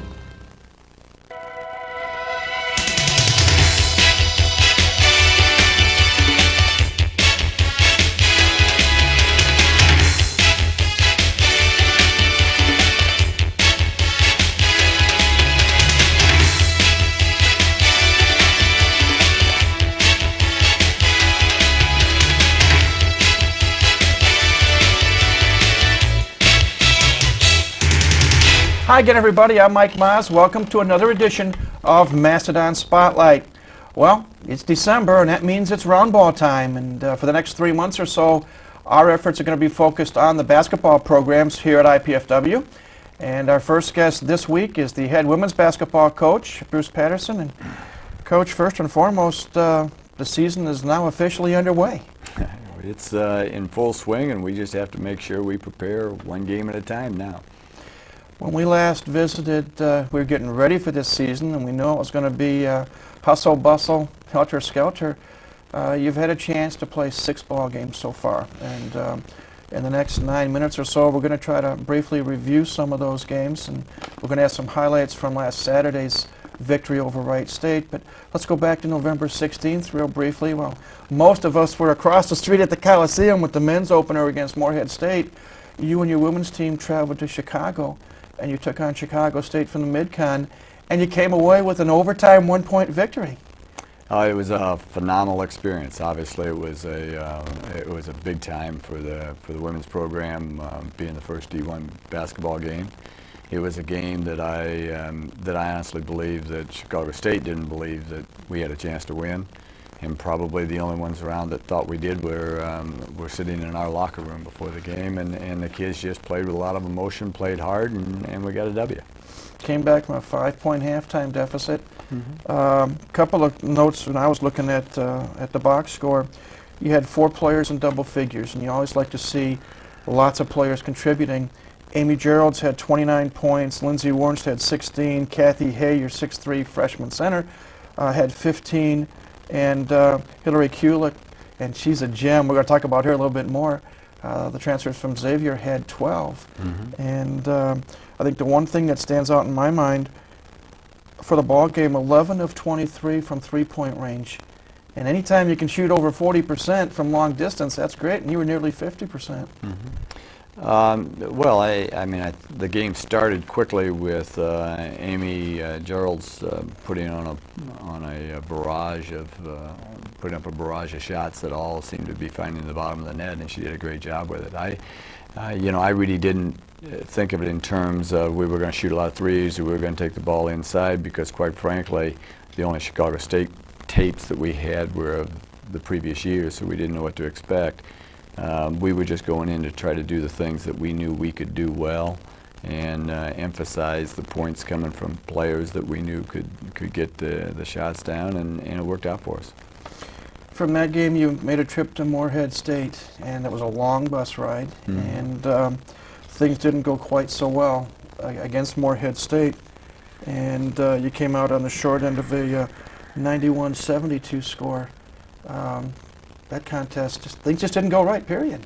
Well, actually, uh, Mike, I'll, I'll, tell you that I thought the kids played pretty hard down at Morehead State. That game was a lot closer than the 18-point um, deficit that was uh, indicated in the final score. As you know, scores have a tendency to balloon right at the end simply because people start shooting foul shots and you start trying to foul people. But uh, I thought our kids played hard down at Morehead State. We had a few pieces of our game that were exposed, some weaknesses that were exposed in that game. They pressed us hard in the second half. Uh, uh, though we got pressed at Chicago State, uh, we were able to deliver a message to Chicago State early when they tried it that if you do this, you're going to pay a price. On the other hand, when we went to Morehead State, for some reason, when they pressed us, we didn't respond quite the same, uh, whether it was the long bus trip, whether it was lack of concentration, whether it was a better press. Um, whatever the reason, uh, we didn't respond as well, and that kind of shook us a little bit and, and uh, broke our confidence. I think that cost us. Uh, frankly, and all in all, I think Morehead State was uh, a little better team than we were. They had some nice inside play and some could get some points there. Um, but I, all in all, I wasn't disappointed with the Morehead State game. Come home, played the home opener against Army, and uh, it was a game that could have been won, perhaps should have been won, but unfortunately, it wasn't one. Well, I think Morehead State had some effect there. Um, I mean, the tapes, obviously, that Army got of us uh, struggling with Morehead State's press, I think, cost us. Um, they came out and pressed us hard where we didn't see that press anywhere in the in the tapes. Uh, we got it into the kind of game that we wanted, where it was an up-tempo game, and and uh, we were we were competing with them. Uh, I think over the course of 35, 40 minutes there, 35 minutes there. Uh, I think they were bigger and stronger than we were, and I, that really cost us um, a little bit. I know that there was one point where uh, Laura caught an elbow that you don't, don't catch very often in, uh, uh in lower level basketball. Uh, their center was just a strong physical specimen, and she made us pay. So, I, you know, I congratulate Army on what they did. They did a nice job. On the other hand, that is a game that I really would have liked to have seen us win. I think we could have won. Uh, but we'd had, you know, we, we're learning how to play at the D1 level. We're, we're learning that every game is, is competitive basketball. Every team has big players. Every team has somebody that can put the ball in the hole. So it was a learning game, a process for us. That brought us up to last week, and there were three ball games you had last week. The first two were on the road against Mid-American Conference teams, and uh, then uh, we had the Saturday home game, which we're going to show highlights momentarily of. But you took on Ball State, interstate rival, and uh, two days later, Bowling Green. Ball State, um, you were close for a while. I remember at one point in the first half it was 30-23, and then uh, the lid in the basket got covered on, on our end, and they went kind of hog wild, and all of a sudden you're down 17 at the half and end up losing big. Well, interesting. As I said to you, the first game I thought we played real well. Each of the next two games I thought we played uh, well. I, I, you know, nothing uh, th that you're going to celebrate over, but we played well enough to, to win basketball games. And I thought in the first, oh, 10 to 15 minutes of the Ball State game, we played well enough to, to uh, really uh, feel proud of what we did. And you're right, something happened, and and whether it was from a coaching perspective, we didn't do, we didn't pull the right strings, and that's where I always like to point when when kids falter like that. Um, we we faltered bad. I mean, we um, and and disappointingly, I think we uh, somewhere at the beginning of the second half we threw in the towel. Um, mentally, I mean, we mm -hmm. threw in the towel, and I and I wasn't very happy with that. Uh, we uh, we quit executing, we quit taking care of the ball, we uh, quit playing defense the way that the, the kids are capable of playing defense. And, and they, what could have been a respectable, quote, respectable loss, if there is such a thing, uh, turned into a blowout. And, and um, I apologize to our fans for that, quite frankly. Uh, we owe them better than that, and, and um, we paid a price for it. Two days later, you went down to Bowling Green State, and um, I think the team played better. Bowling Straight, Bowling Green rather doesn't have that bad of a team. 73-57. Oh, I disagree with you. I think that's the worst game we played all year, Mike. It was, uh, and I think we had Ball State itis there. I think, uh, I think we got caught in um, all the things that took place in the the Ball State game. Quite frankly, Bowling Green's a game I'd love to play over again, and I'd. Uh, uh, I'm not a wagering man. I don't place a lot of bets, but I'd place it on us. I think we're a better basketball team. I think we got better pieces there. I, um, I frankly, um, you know, for a MAC school, if, if uh, I, I, just think we could beat them. Uh, I think they're well coached, and I think coach will tell you, their coach will tell you that they're down a little bit on their talent level, and I hope this isn't sent back to their radio station, but I, I think he'll tell you that they're down a little bit on their uh, talent level, and and uh, we can win that basketball game. We could have won that basketball game. We should have won that basketball game. But I think the Ball State thing, where we really probably couldn't beat Ball State because they're they're just flat better than we are, and and well coached also. We could have competed better. When we stopped competing there, it carried on to the Bowling Green game. Well, let's talk now about the game that we did win at home I always last like talking about Saturday. those first. And it's a game that we broadcast here on College 56 Sports, and uh, we're going to see highlights here. And uh, roughly about five minutes of highlights. This is in the first half. And uh, Wright State's got the basketball, and, and uh, I'll let you uh, comment. Laura gets the board, and we go down and we end up scoring. Yeah, um, I just, you know, part of our game is to get the ball up and down the court and to try to find the open player. And I think there's a case where Kathy Hay ran the court. I mean, you got a big kid that's running the court real well. She ran down. She was able to get it, maintain her balance after a little bit of bump, and, and find the open player. Uh, there, you know, you, you look at that and you say, boy, that's a nice shot by Hillary. But if you look right before it, you'll see uh, a double screen that was came off of, of uh, T and, and uh, Laura, and it's just as much what she did as what, uh, um, believe it or not, what what Hillary does. What you saw there was Tiara hitting Kathy inside, which is always nice to get get the easy bucket. Yeah, they had a breakdown there. I'm not sure what that that uh, inbounds play is really not designed to go to Kathy. She just opens up in case somebody uh, becomes brain dead, and they did, and and um, when they did, uh, we got the ball in the, the hole. Uh, this is what I really like to see. Uh, you know, where we can get the ball down the court, we can get easy ones. Uh, we actually asked Laura, Laura to pull up there and to shoot the jumper as opposed like that one. That's what we want her doing more It's a lousy editing job. I'll be flat honest, and I apologize. But uh, uh, you can see I'm a rookie editor. But what you are seeing, again, yeah, Laura with the pull-up jumper, Hillary at pr- prior play, she had hit two threes, and she came back and uh, moved inside and got easy. Here's a nice steal by Amy Gerald. See that? Those are the kind of things we want to do to teams. We want them to, to be looking for us when um, when they make mistakes. Um, we, we want them to pay a price when they do. And, and right there, the, the kid pulled out a little bit, backed away from the double, and and uh, then we just ran to the passing lane. Well, we're seeing some passing, and, and I, again, I apologize because uh, we're not seeing some of the finished product. But uh, ball movement, if you say try to get the open person, there's another three-point field goal. Well, Wright State tried, tried to go into a zone on us, um, played a lot of zone on us, as a matter of fact, and and I thought the kids did a really nice job, especially late, of finding the seams in the zone, just like right there. I mean, we, That was the opening play of the second half. yeah. That, well, that was actually a set play. It's um, uh, it's just a high-low uh, setup, and we can run it against man or zone as long as the kid goes down and catches the right person to, to screen. What you're going to see here is uh, Laura Douglas is going to get a bucket.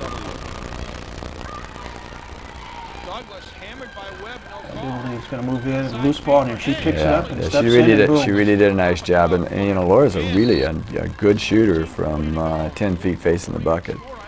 And uh, what we're trying to encourage her to do is to shoot the basketball more from that range, as opposed to well, the one where she took it all the way to the hole. We really prefer her to pull up at about five or eight feet. We think her success ratio is much higher there. And you saw Kathy Hay hitting Amy. She, Amy had the open jumper. See, right there is what we're really trying to get to. And we can try to get that little triangle against that zone. We get an overload and they're in trouble. That They miss a shot, and we're going to come back and score. yeah, well, the, what, what happened there was one of our kids, uh, Amy did a nice job of stepping in on that steal. Um, we did a terrible rotation job up top. We attacked the wrong player, and you know, all it takes is one kid when you press them to go the wrong place, and they can end up with that kind of stuff. But even during that time, we don't mind that as long as we're taking it up and down and we're capable of uh, coming back and scoring on them. Another three by Hillary and a good pass from uh, from Laura. Again, it's, it's nice. They're looking for the open person. There's Amy with a three. It actually goes down. And uh, another three. And uh, in this ball game, you had five players in double figures. Amy, Gerald's, and Hillary Kulik had 23 apiece. And uh, Kathy Hay had 13. Tiara had uh, 12, and Laura Douglas had 10. So it's a nice balance there. But beside the scoring, we got some really nice work defensively out of uh, out of all the kids, but T and and uh, Laura specifically. Um, you, know, they were they were bigger than we were, um, all the way through the lineup, and I just thought we did a good job on. Them. They they did not get an opportunity to take advantage of their size inside. Again, ball movement inside post. And Viera Bibbs made a bucket there, and we're going to have uh, one more highlight coming up here. Turnover, and we're going to convert, and you always like to see that when you can convert uh, turnovers from the other team. And what's going to be nice here is, is going to be a nice pass inside. And Viera Bibbs puts it up and in, and that gave you a 12-point lead, and you extended it and ended up winning 89-78. So uh, it was a it was a nice victory, especially in front of the home fans. Yeah, it's always nice to come home, and and it's all you know. I told the kids before the game that we really were a team that, in my opinion, had our backs against the wall. Not necessarily because you have to win a lot of games this year. We're in a learning process. Uh, you know, I said at the beginning of the year I could see us winning anywhere from five to 15 games. Uh, and if we were in that range in the 10, ra- you know, 10 games, I'll, I'll be happy with the process that we've taken. More importantly, though, was the recovery from emotional letdowns that we had at Bowling Green. Uh, we emotionally didn't play with the same fervor that we did, uh, I believe, in this particular game with Wright State. And that's important to us. I, I think we got to play at that level, even if we're playing somebody that has a little bit more talent. We're going to take a break, and when we come back, we're going to speak with one of the members of this year's women's basketball team, junior Tiara Dudley. But that's when Mastodon Spotlight returns in just a moment.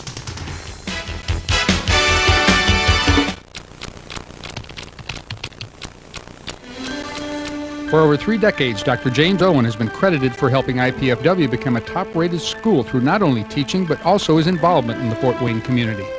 The kind of people that the city were, were hiring at the time were people with advanced computer skills. I thought, my lord, unless my students get up to speed in this particular area, uh, skill and talent, knowledge, uh, that they weren't going to be competitive in the job market. Dr. Owen developed courses that would train his students to become leaders in the community. At one time, of the six major department heads in the city of Fort Wayne, uh, three of them were former students of mine that I'd recommended for the job. He makes a point to stay in touch with former students, and that makes a difference in their lives. Uh, whenever I think about undergraduate days, I always think about old professor so-and-so. She said, I have one like that too. And she said that that's Dr. Owen. IPFW, the right school, right here, right now.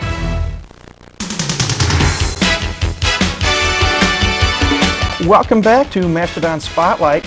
Time now for one of my favorite parts of the program each week, chance to speak with one of our student athletes here at IPFW. This week, with women's basketball, we have the chance to welcome to Mastodon Spotlight Tiara Dudley. Tiara, 5'10 junior from Ohio. Welcome uh, to Mastodon Spotlight. Thank you. Thanks for having me. Tell us a little bit about yourself, please. Well, like I said, 5'10 junior from Cincinnati, Ohio.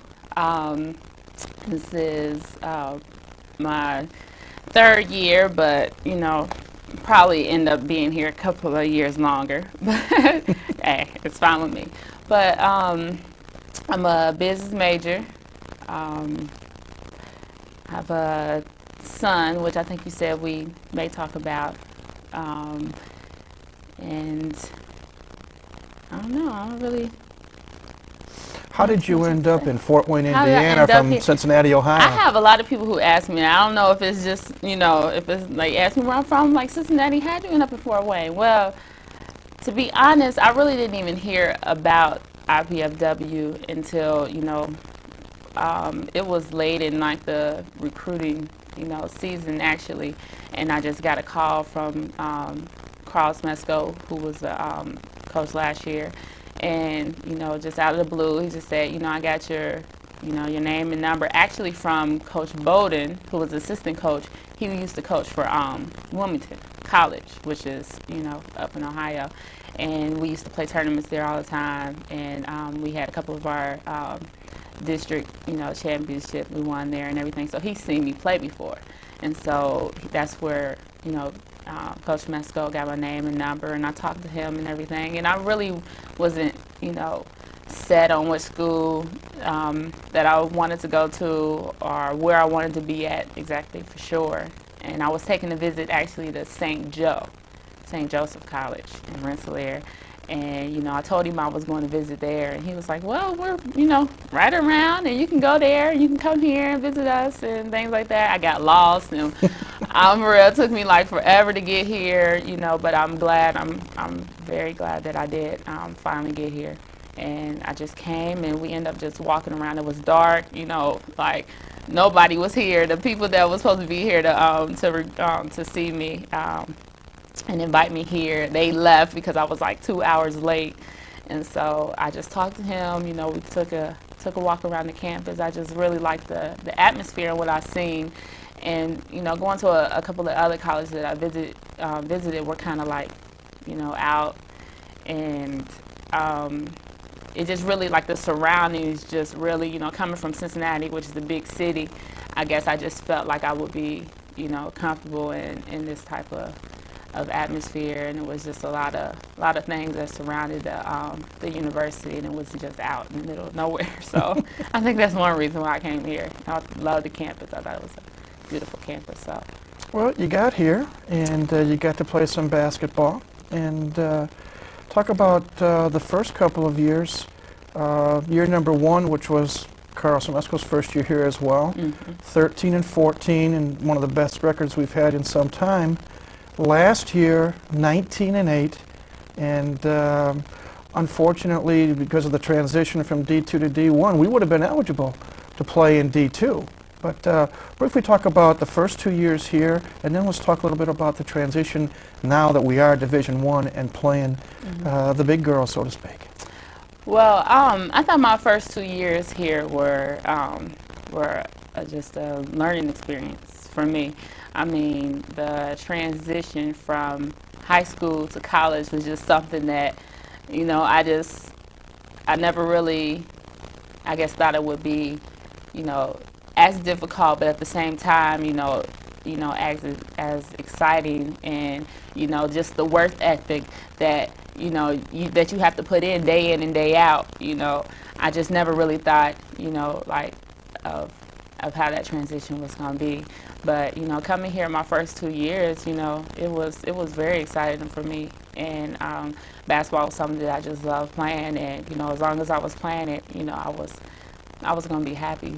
So, um, like you said, our first year, you know, we were we were just praised like you know I guess like we were like the greatest team ever. Because like you said I think the year before that they were like two we were like two and something. Two so just us I mean the first the first six games we came out and I think we were like six and oh. And you know everyone's like oh you know like happy that we that we were even winning. And so you know it was just it was a it was a great feeling uh, you know like to you know like I said it was my like you said it was my first year it was Coach Smesko's first year and so I was just excited I was even uh, I was I was given the opportunity to even come in here my first year and contribute to the team. You know, being a freshman, you know, I expected no matter where I was going to go, that you know I may not be able to play a lot. You know, it would have been kind of different from you know being a, a high school starter.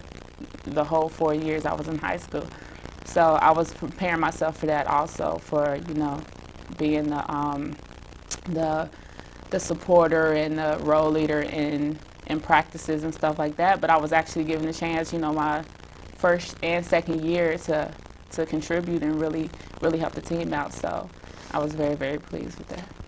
You've got a unique situation in that um, you're not only a student here at the university and a student athlete playing on the women's basketball team, but you're also a mother. Tell us a little bit about the little one and then briefly talk about how you're able to juggle hitting the classroom, hitting the basketball floor, and being a full-time mommy. Well, my son's name is Tavion Jonathan Dudley. Nobody can pronounce his name, so we call him TJ. But anyways, he is like he's. I think he's like the best thing that, that ever happened to me. You know, he.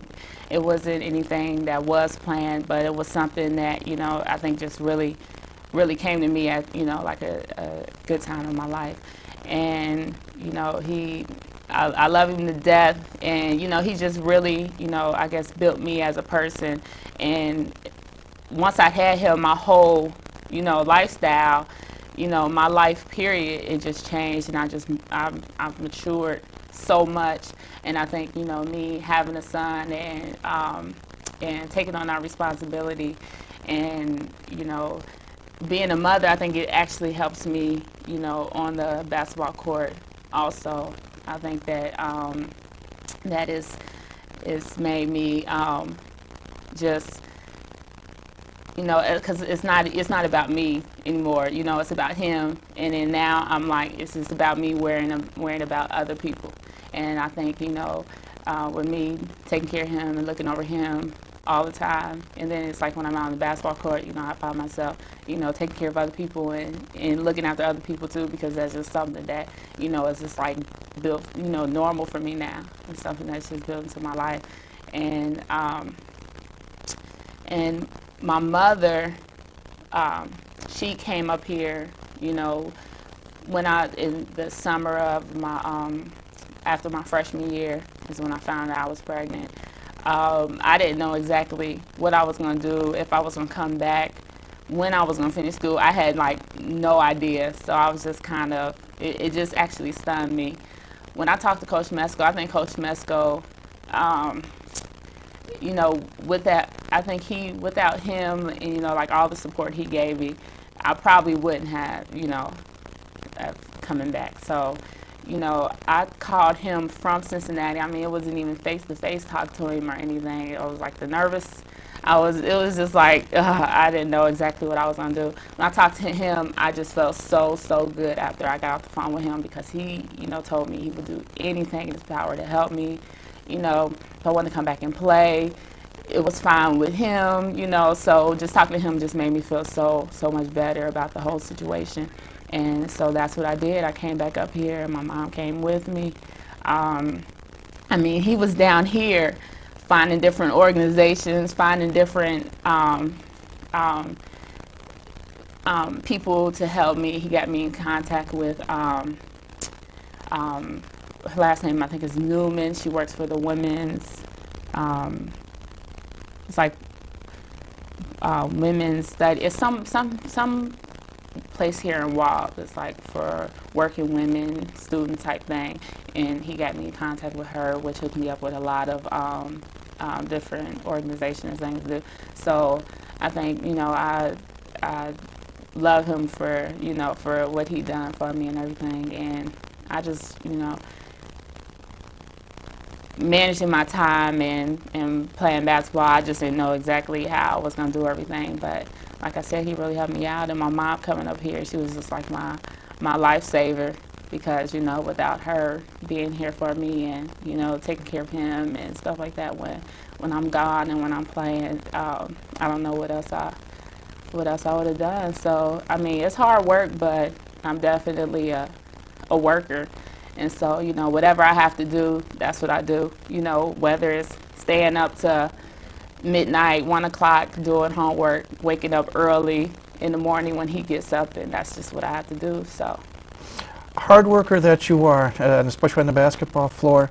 Um, eight points, almost six and a half rebounds, two assists a game, and you've been tenacious and aggressive on the defense. Uh, uh, we're almost out of time in this segment. Okay. I'd like to have you back later in the season, and if possible, to bring TJ with you. Okay. I think uh, when this has uh, happened before in the program, uh-huh. and uh, we'd like to have you back, and we'll talk a little bit more uh, about Division One basketball, and and uh, hopefully we'll see if he's got as much energy as Mom does. Okay. Oh, he does. but, uh, thanks for coming in today, and okay. good luck, and we look forward to chatting with you and TJ later in the season. Okay.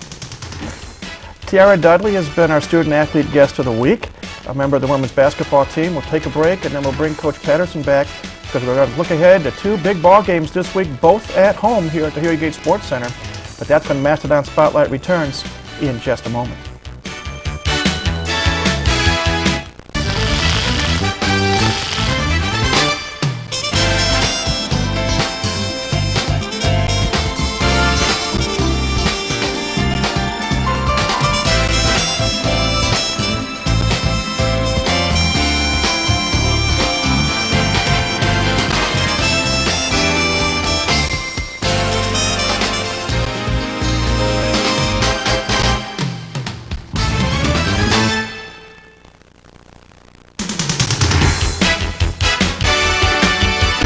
Welcome back to Mastodon Spotlight. We're rejoined by Coach Bruce Patterson, and Coach, two tough ball games coming up this week, but they're both at home at the Hilliard Gates Sports Center. Thursday night against North Texas, and uh, Saturday in a game we'll televise on Channel 56 against Eastern Illinois. Brief thoughts on these two upcoming games. Well, we're going to see on Thursday the far and away the best team we've played. Um, they're big, they're strong, they're agile, they can shoot, they can take the ball inside, they like to run, and they can play defense. So we have um, we have an outstanding challenge, and that's the way the kids have to really look at it. It's an outstanding challenge for a first-year Division One program to be taking on somebody that's I, they didn't get any. Uh, they're not ranked in the top 25, but I know they were getting many votes, and they leave from here to go down and play Purdue. So. So uh, th this will be a, a, chance for us to see where we stand relative to the best. And then a Saturday against Eastern Illinois. Well, we're looking forward to Eastern Illinois. Um, as, as, long as we can get out of the um, um, the Thursday night game in one piece, mentally and physically, and and uh, and and with our confidence in in uh, good standing, uh, then I believe we have a chance to win win the Eastern Illinois game. Uh, they're a basketball team that from, you know, you never go by they played, we played type stuff, but they've played some teams and, and have lost to some teams that quite frankly uh, in the cycle of things we, we think we could beat too. So, um, you know, we feel very comfortable with the Eastern Illinois game. We wish you luck and uh, we will talk to you next week about these two ball games when you get to come back.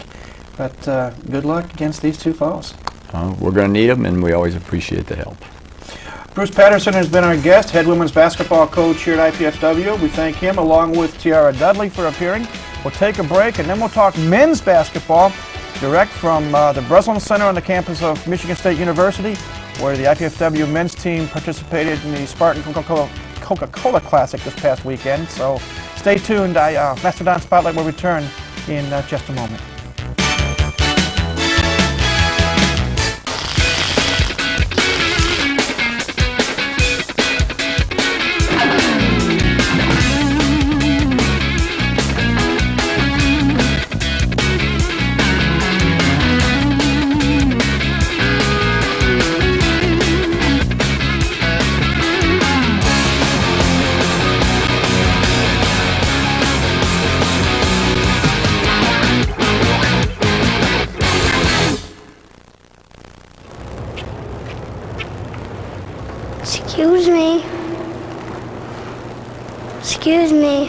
Santa Claus?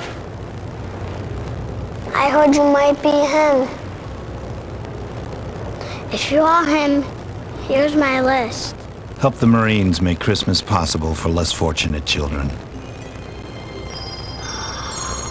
Donate a new toy to Toys for Tots. Back to Mastodon Spotlight. We come to you now from the locker room uh, at Michigan State University, the Breslin Center on the campus of Michigan State. And we're uh, going to chat with head men's basketball coach Doug Noll.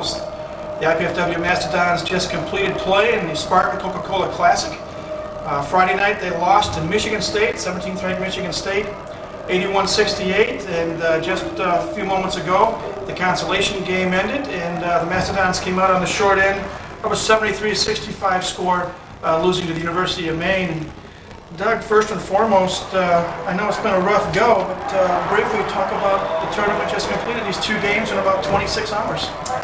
Well, I, uh, we were really excited to obviously be here. I mean, this is kind of the mecca of uh, basketball, Mike. You know, you look at Duke, you look at Michigan State, you got your Arizonas, UCLA's, and and uh, these are just great places to you know to really be at, and and uh, it's a great just a great environment, and it's just great for the kids. I mean, uh, you know, this is what you want to do. You know, it's easy to go beat up on your little brother in the driveway or sister, but you're not going to get any better as far as basketball goes. And so, what you've got to do is that you've really got to expand your basketball horizons, and this is a great place to do it. I mean, we're, uh, uh, you know, playing Michigan State last night was a thrill in itself for not only the players but the coaches. I mean, we've seen the Breslin. I've been here a lot. You've seen them on TV, and uh, then to coach on the sideline was just a thrill as well. And uh, we really played our hearts out last night and, and lost by 13 or whatever. But uh, today we just ran out of gas. And it, it, really took a lot out of us, a lot more last night than, you would really think. But today it showed we just didn't have, you know, we had a half a tank of gas we were running on. Let's talk briefly about the game against Michigan State. As you say, Michigan State, uh, former national champion for the last three years. They've been in the Final Four, one of the few teams that has done that three years in succession. Um, they come in, we come in and try to knock them out. They had a 46-game home court winning streak when we played them last night. And in the beginning, it was a game of runs. They scored the first four points. We came back and scored seven in a row. And three minutes into the game, we're up seven to four. And then they came back with an 8-0 run, and it was back and forth. And, and um, up until three minutes to go in a half last night, we're only down six, 23-17, and they made a little run to take an 11-point lead into the locker room. But uh, the fact, over 14,000 fans here at the Breslin Center, and uh, I think you agree, I don't think anybody in IPFW has played in front of 14,000 people before. But uh, to talk briefly, maybe about the preparation for this game and uh, against Michigan State, and as the game proceeded to go, granted we fell behind in the second half, but 81-68 uh, to the 17th ranked team in the country isn't all that bad. Right. Yeah, and you know, I mean, you know, moral victories uh, kind of, you know, they don't get it, but uh, last night I think was a, a big bonus for our program, and and uh, I was I was just real pleased with with the effort of the kids. I mean, we got into halftime and we had 10 offensive rebounds. We're out rebounding them on the offensive glass, and they were only one rebound ahead of us. I mean, we got rebounding drills called Spartan rebounding that we stole from them uh, because they're they, they're just war on the boards. First five minutes of the game, we come back and uh, we got three guys uh, we got two guys with blood on their teeth, and the other guy has a fat lip. And I mean, you know, that's Big Ten basketball. And so, you know, we were uh, really given that look of what actually happens in the trenches in Big Ten basketball, and they, you know, they welcomed us into into the league, so to speak. And uh, it was spurts and runs. And second half, we really never, you know, threatened per se, but we really made a nice run with about seven minutes to go in the game and really outscored them in the last six, seven minutes of the game. Um, we put on a, a, press, we got some pressure, and, and I mean, I think, as I mentioned, you know, because we did all that and because uh, we really pushed ourselves mentally and physically to the limit last night to play that team, uh, we just came back today and just did not have any uh, anything left, any energy left to uh, to compete here, and we still only got beat by eight. Um, you know, and it's very difficult because we thought it was a winnable game. But any game you play anymore is is tough. I mean, we could have sugarcoated the schedule. We could have played 10 Division One games and 18 non. Uh, there was no rule, set rule, because it's our transition year. Where we count if we play a Division One, but we don't have to play a Division One. But that's not going to get you any better. And we've got to. We can't look at this year. I mean, the seven footer they had today you know, really hurt us. I mean, he had uh, basically 22 points, uh, probably five or six dunks, and that's the one position we're vulnerable right now because we got a couple big kids out, and you know that's frustrating, but. Uh, you know, you got to grow, and that's what we're trying to do. And, and uh, you know, we're not getting blown out of games. We're making them, uh, we're making them close, but we just got to find a way now uh, to get a little better and get over the hump. Some of the leaders on this team, the Nick Wise's, um, your son Brad, uh, John Watkins, a transfer from Wright State, they've had, or especially in the case of Nick and John, they had a little taste of Division One coming in. And Brad, as you said uh, in the press conference last night, um, he's worked camps here, so he's a little bit familiar. Uh, do you think they were all by coming in here and playing in this tournament, or do you think they were a little bit more used to it than the other members of the team? Oh, I, I don't know that, you know, uh, when they came to camp, when Brad came to camp, there was nobody in the gym here. You know, just campers, and uh, you know it's a little different when 15,000 people are sitting in the stands. So uh, I would guess, you know, there's, you know, you have to look around the arena, but you don't want to try to make it like. Uh, um, you know, Gene Hackman, in the movie Hoosiers, you know, to measure the basket and the free throw line, you know, and, and yell out Hickory because uh, it's the same as, our gym, just a lot bigger. And uh, so it's a, it's a thrill for the kids, and you know that's that's what we want to do. We want to try to play the best and, and, play as many as we can. It'll it'll be great when we can settle down, get a couple wins under our belt, get some kids you know healthy, and uh, really work uh, at you know at being a little more competitive down the stretch. And and uh, but I, I think it was just a great thrill, you know, for us to be here in our program. Michigan State didn't need us, but because of uh, you know we're friends with with their uh, coaching staff, uh, we really felt like you know this was a great uh, opportunity for us, let's take it. And, and uh, you know, we, we dropped two, but I think we, we gained a lot of experience up here this weekend. I don't know if you know it or not, but in the post-game press conference last night, Tom Izzo was asked uh, how he thought IPFW would do. And he did comment that he said he felt that IPFW was a well-coached club, kudos to you and Joe and Fred, and that IPFW is going to win some games this year. So if you know that or not, but that was a quote that uh, Coach Izzo said in the press last night. Well, you know, we appreciate that, Mike, and uh, you know, I have a lot of great respect for Tom. He's just a down-to-earth guy. I mean, you know, you get him in camp, and that's one thing Brad learned a lot about this this year in camp was, uh, you know, how hard they work, and and you know, he got to the level to experience exactly, you know, what they go through, and I think you know that's helped him along the way. Uh, but you know, Tom is just you know roll up your sleeves type of guy and get your hands dirty, and and uh, you know even though he's perceived you know across America as this big time coach, um, he's just he, he is really just an ordinary guy, and and um, that's what that's really what you like about him. So. Um, you know, we're off to a little rocky start, and, and I would have hoped maybe that we could have had a couple wins by now. But again, we knew it was not going to be easy this year, and, and those are the growing pains you go through. And and uh, I don't like losing any more than anybody else. Uh, Fred, Coach Andrews uh, was up till four in the morning getting this scouting report done. Coach P had a great scouting report on, on Michigan State. I mean, to the T.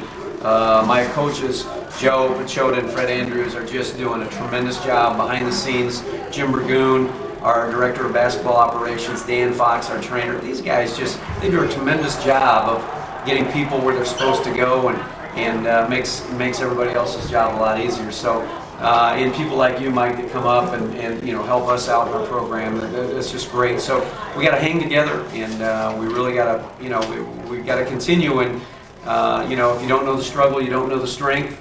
Uh, you know we need to we need to just keep working on that. And and the other one, and, and not to get too uh, quotish, so to speak, but you know tough times don't last, but tough people do, and we just got to tough it out. Very good. I agree with you 100%. We're going to take a break, and uh, when we come back, we're going to hopefully talk with a couple of the players on IPFW squad to see how they felt playing in the Coca-Cola Classic. But that's when Mastodon Spotlight returns in just a moment. This is me. And my mom and dad. And my big brother Alex. And Jack. This is the day I learned that sandals got their name from sand. And that the ocean is bigger than all of us. This is the day we all got to forget I was sick. This was my wish. According to the National Highway Traffic Safety Administration, it kills over 1,500 people every year and injures 71,000 more. Inadequate sleep has been linked to health and safety risks, even premature death. But today, new treatments are helping millions get the sleep they need. So talk to your doctor or take our free risk assessment on the web at sleepfoundation.org. Sleep deprivation. It's real, it's dangerous, and it's more treatable than ever.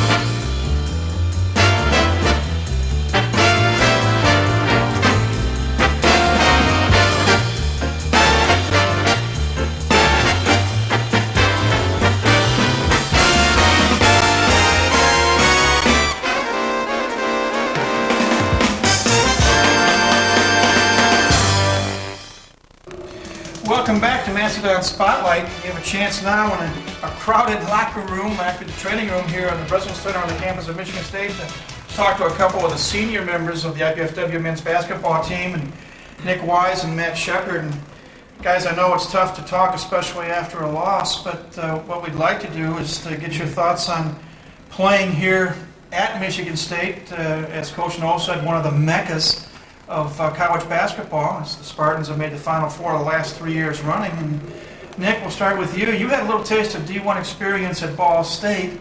Um, what's these last two nights been like? Uh, like you said, it's definitely the mecca of college basketball the last couple years. Um, it's been a heck of an experience. Um, we came out here with two with two losses, but uh, you know, it tonight was kind of a letdown after after last night. Uh, we played our butts off last night. And, really focused, and uh, you know, it's still just a heck of an experience, and I'm really glad I got to go through it.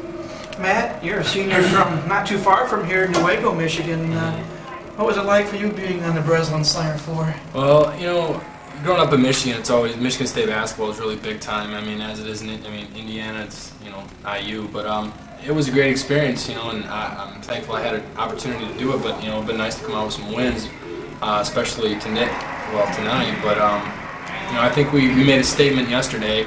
Um, with what we did against Michigan State. You know, you don't like to lose, and nobody likes to take a moral victory, and, and I, I don't I don't get into that either. But what what we can take from that is, you know, hey, look, you know, we can lace them up with the best of them, and uh, I think um, you know most guys are proud um, to be associated with IPFW basketball, and I think people, you know, around sports now have an idea who we are. So that's been that's been good.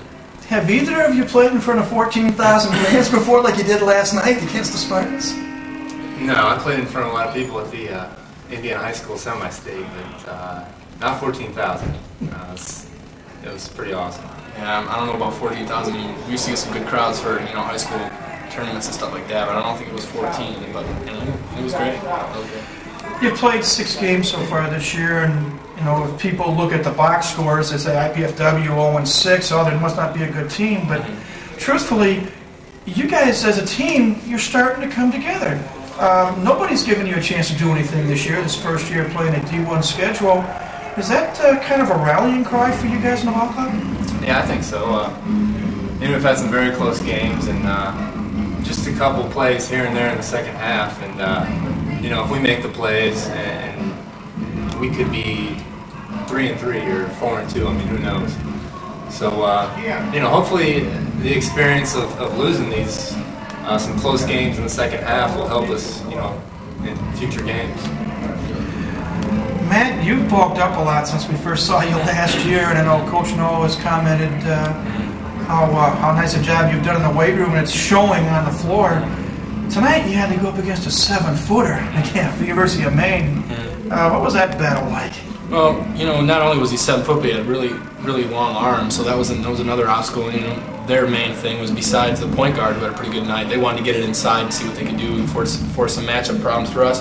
But um, I kind of watched how Lamar, who was a team that played Maine last night, how they played him, and they pretty much had a um, a guy in front playing pretty low, and then they had a good help side, and so that's what we tried to do. But you know, you don't get especially at least I haven't so far uh, get a chance to play against too many seven footers, and you realize you know when people are seven footed, it, is, it doesn't make a difference. I don't care, you know, how thin they are, how, how what they are. Long arms and they're seven foot, it's going to help them out. So, but hey, you know, we, we battled, and so that's what it's all about. This week, the, the road show continues. Um, as this show is being aired, you will have already played University of Michigan in Ann Arbor and getting ready to take on your former team, Nick, the Ball State Cardinals, and then you're going to finish that up two days later with a home game against Indiana Tech talk about this upcoming week for the two of you and Nick especially. And I know, I'm sure some of the uh, newspaper reporters may talk to you about going back home, so to speak, to take on the Cardinals. Right. Uh, it doesn't get any easier. Uh, uh, play Michigan up in Michigan, and uh, it's going to be a very tough game. Ball State's been playing really well lately. Um, you know, it's anytime you play any Division One school, I mean, it's it's going to be a challenge, and especially when you're playing the Big Ten and MAC schools, uh, you got to step step your level of play up and, and, your concentration and focus. And you know, I'm sure we'll do that. We'll have a couple of good days of practice, and uh, we'll be ready to get back after it. Your thoughts, man? well, kind of just with, with, what Nick said. I mean, anytime you play Division One school, it doesn't matter who they are. I mean, there's 300 and some odd teams, and every one of them, you know, have, have, after they've been there a little while, and we, you know, this is our first time around, uh, they realize that what we're starting to know is that wins don't come easy, and it doesn't matter who you play or who you are. So, um, with that in mind, we're going to go to Michigan, we're going to go to Ball State, and um, we're just going to come out there because, you know, we're 0 6 now, and we don't have anything to lose. All we have is to gain. So, we're going to come out there, it's going to be a new game, and we're going to take it from there, and we're just going to realize that at one point, these close games are going to have to come out, you know, to some wins, and the mistakes that we're making, we're going to have to cut those down, or otherwise, it's, you know, it's going to keep going. But I think you know, when we do realize that and we, we can put it together and everybody has a pretty good game, you know, we, we can we prove that we can play with people. But now it's time, you know, to step that up, like Nick said, and, and just give it everything we have because, you know, it's all for the taking. I will let you guys go. I know it's been a tough last uh, 30 hours or so, but We appreciate you giving us a few minutes of time here to talk about this experience playing at Michigan State. And we wish you well next week, this upcoming week, against Michigan, Ball State, and Indiana Tech. And uh, again, good luck the rest of the way. and We hope to talk to you later in the season. Thanks. Matt Shepard, Nick Wise, senior members of the IPFW basketball team. We'll take a break and bring Coach Doug Noll back and get his thoughts on the upcoming week. That's when Mastodon Spotlight returns in just a moment. Dr. Hermine Van Nuys is a professor who teaches her English literature classes with passion to inspire her students. I'm very passionate about what I teach. I love the literature I teach. And I'm very proud of the faculty in my department. Her 30 years of dedication to IPFW has earned her much respect on the collegiate level. We offer really a wonderful English major, I think, with a number of opportunities. There really is much more, I think, probably a personal uh, relationship established in our classes because they tend to be smaller. Because of her experience, Dr. Van Nuys recognizes IPFW's advantages over other universities. Students here can come to our offices. They will be seen by us. We speak to them, which is the ideal way, I think, to teach.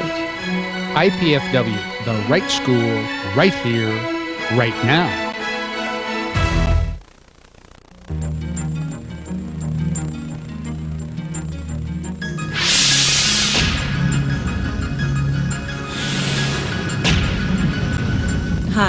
Amanda Tapping. On Stargate SG-1, my character discovered that the Stargate could be used as a key to unlock an endless variety of adventures. Your key for endless adventure is a good education. Don't limit your options. Stay in school.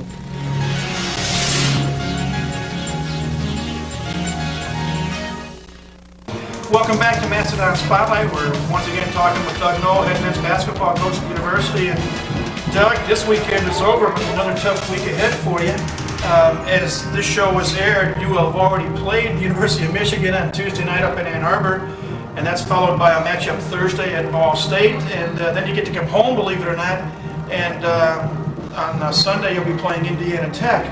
Um, though it's in a way future past, talk about these three games this week, beginning with the Michigan game in Ann Arbor. Well, again, it's uh, I think just a great opportunity for uh, our kids to experience Big Ten basketball and going into Ann Arbor. I mean, Matt Shepard is from Michigan, uh, and Brad grew up here in Michigan, you know, just down the road 30 miles. So, you know, growing up, you look at the Breslin, the Chrysler Arena, and you see two huge uh, arenas, and now you're able to play in them. And, and I think, you know, I, I've always told Matt that down the road, uh, you sit back and tell your kids, you know, Dad played in those, and and that's that's what it is. I mean, it's all part of that. And and uh, Michigan is, although they're down uh, a, a, little bit, you know, uh, according to Michigan basketball, uh, they're gonna they're gonna be really strong, and they gave Boston College a great game on Saturday, and so. Our, our, uh, our hopes are that uh, you know in a few days after they play us they play Duke so maybe they're looking ahead a little bit and but we got to come and make a big effort and, and play a lot better than we did today but bring that effort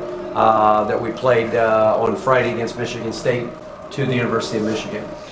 You don't get much rest after that. You go to Muncie. You're going to take on Ball State, and all they did in Hawaii was knock off then number three Kansas, then number four UCLA, and actually had a first half nine point lead on number one Duke before they lost. They're out the gate quick, three and one, and they're now nationally ranked. Well, yeah, and in some cases they could be the best team out of the you know the, the three that uh, we play in Michigan State and Michigan. Uh, they're just very athletic, quick, and uh, Tim Buckley's got a great, great group of kids this year. They, they play well together, and their chemistry is what's what is really so good. And that's not going to be an easy task either. But we're just going down the day of the game. That was a game that was supposedly supposed to be in January because of their TV schedule. We had to slide it in. I'm, I wasn't real happy with that because I, it, it's our last week of school before finals, and it's really taxing for the kids. Uh, and then Indiana Tech and Jason Klein was very happy to move the game to uh, Sunday and give us one more day's rest because we have to take a day off this week. And uh, so I was just uh, hoping that, you know, uh, we wouldn't have had to schedule Ball State on, on Thursday. We could have waited until January, but that wasn't the case. And so we'll do it. Uh, we'll put it on our schedule. We'll go down to Muncie on Thursday and play them, and then thankfully come back and hopefully wear the white uniforms for a change at uh, at the Gates Sports Center and when we play Indiana Tech at 3 o'clock on Sunday two questions left because I know you want to get back on the bus and head for home. injury status, uh, especially with uh, the two big men, Jim Kesenick and Zach Ruger? Well, uh, you saw we dressed Zach this weekend just to give him a feel of what the big time was like, and and I think that was uh, you know uh, a good situation for Zach. He's a few weeks away yet. Uh, Jim goes back to the doctor December 5th. Uh, I think by December 20th, which is when we start our five-game road sweep uh, swing at Colorado State, Montana State, then we'll come back home for about two and a half days uh, in Christmas, and then we'll go back out to Oregon, Long Beach, and San Diego State. I hope they'll be ready at that point in time. We'll also get Terry Collins back uh, from Fort Wayne Snider, point guard who will be eligible December 20th. So that's going to help our depth tremendously. I mean, to get a 6'8", 6'10 kids that can play the post, bring another point guard into the mix. Uh, we're really looking forward to that because uh, we're real thin right now. And in a year that you needed to be perfect, we've had some glitches with with injuries, and it, it's just really, uh, really killing us. Everybody else okay, health-wise? Uh, pretty much. Uh, Keon's got trouble with his uh, feet right now, um, and we're trying to work through that with some arch supports. Lee Bat's dinged up a little bit with his ankle, uh, but the rest of the guys are just uh, bumps and bruises. That's it. So. Final question the morale of this ball club? Even though they're 0-6 as we take this interview, uh, how is the morale? Well, I think, you know, uh, after today's game, we were a little down. Uh, and, and I got a little upset at halftime and, uh, you know, ran and raved a little bit. But I was just trying to get, uh, you know, all the all the juice out of them I could get today, and we really had to squeeze it hard. But uh, in the end, I think they gave us what they had left, as I mentioned earlier. And uh, you know, you don't come in here and play at Michigan State expect to come back and, and feel just 100%. But you know, if you only played basketball when you felt great, you'd only play it about you know 20% of the time, anyways. You're, you're you're either dinged up, you're sore, you're hurting, you don't feel good, or whatever. But you got to go out there and tough it out. And hopefully, our kids are learning that, Mike. We'll let you get out of here and go home, and hopefully the team gets some rest. And uh, we'll talk to you again next week and All talk right. about these upcoming games. You got it. Doug Noll, head men's basketball coach, has been our guest. That's it for this edition of Mastodon Spotlight. I want to thank all the coaches, all the players uh, from both the men's and women's teams for uh, appearing this week. And we invite you to come back next week when we'll talk some more IPFW basketball. But until then, this is Mike Moss saying have a great week and go Dons.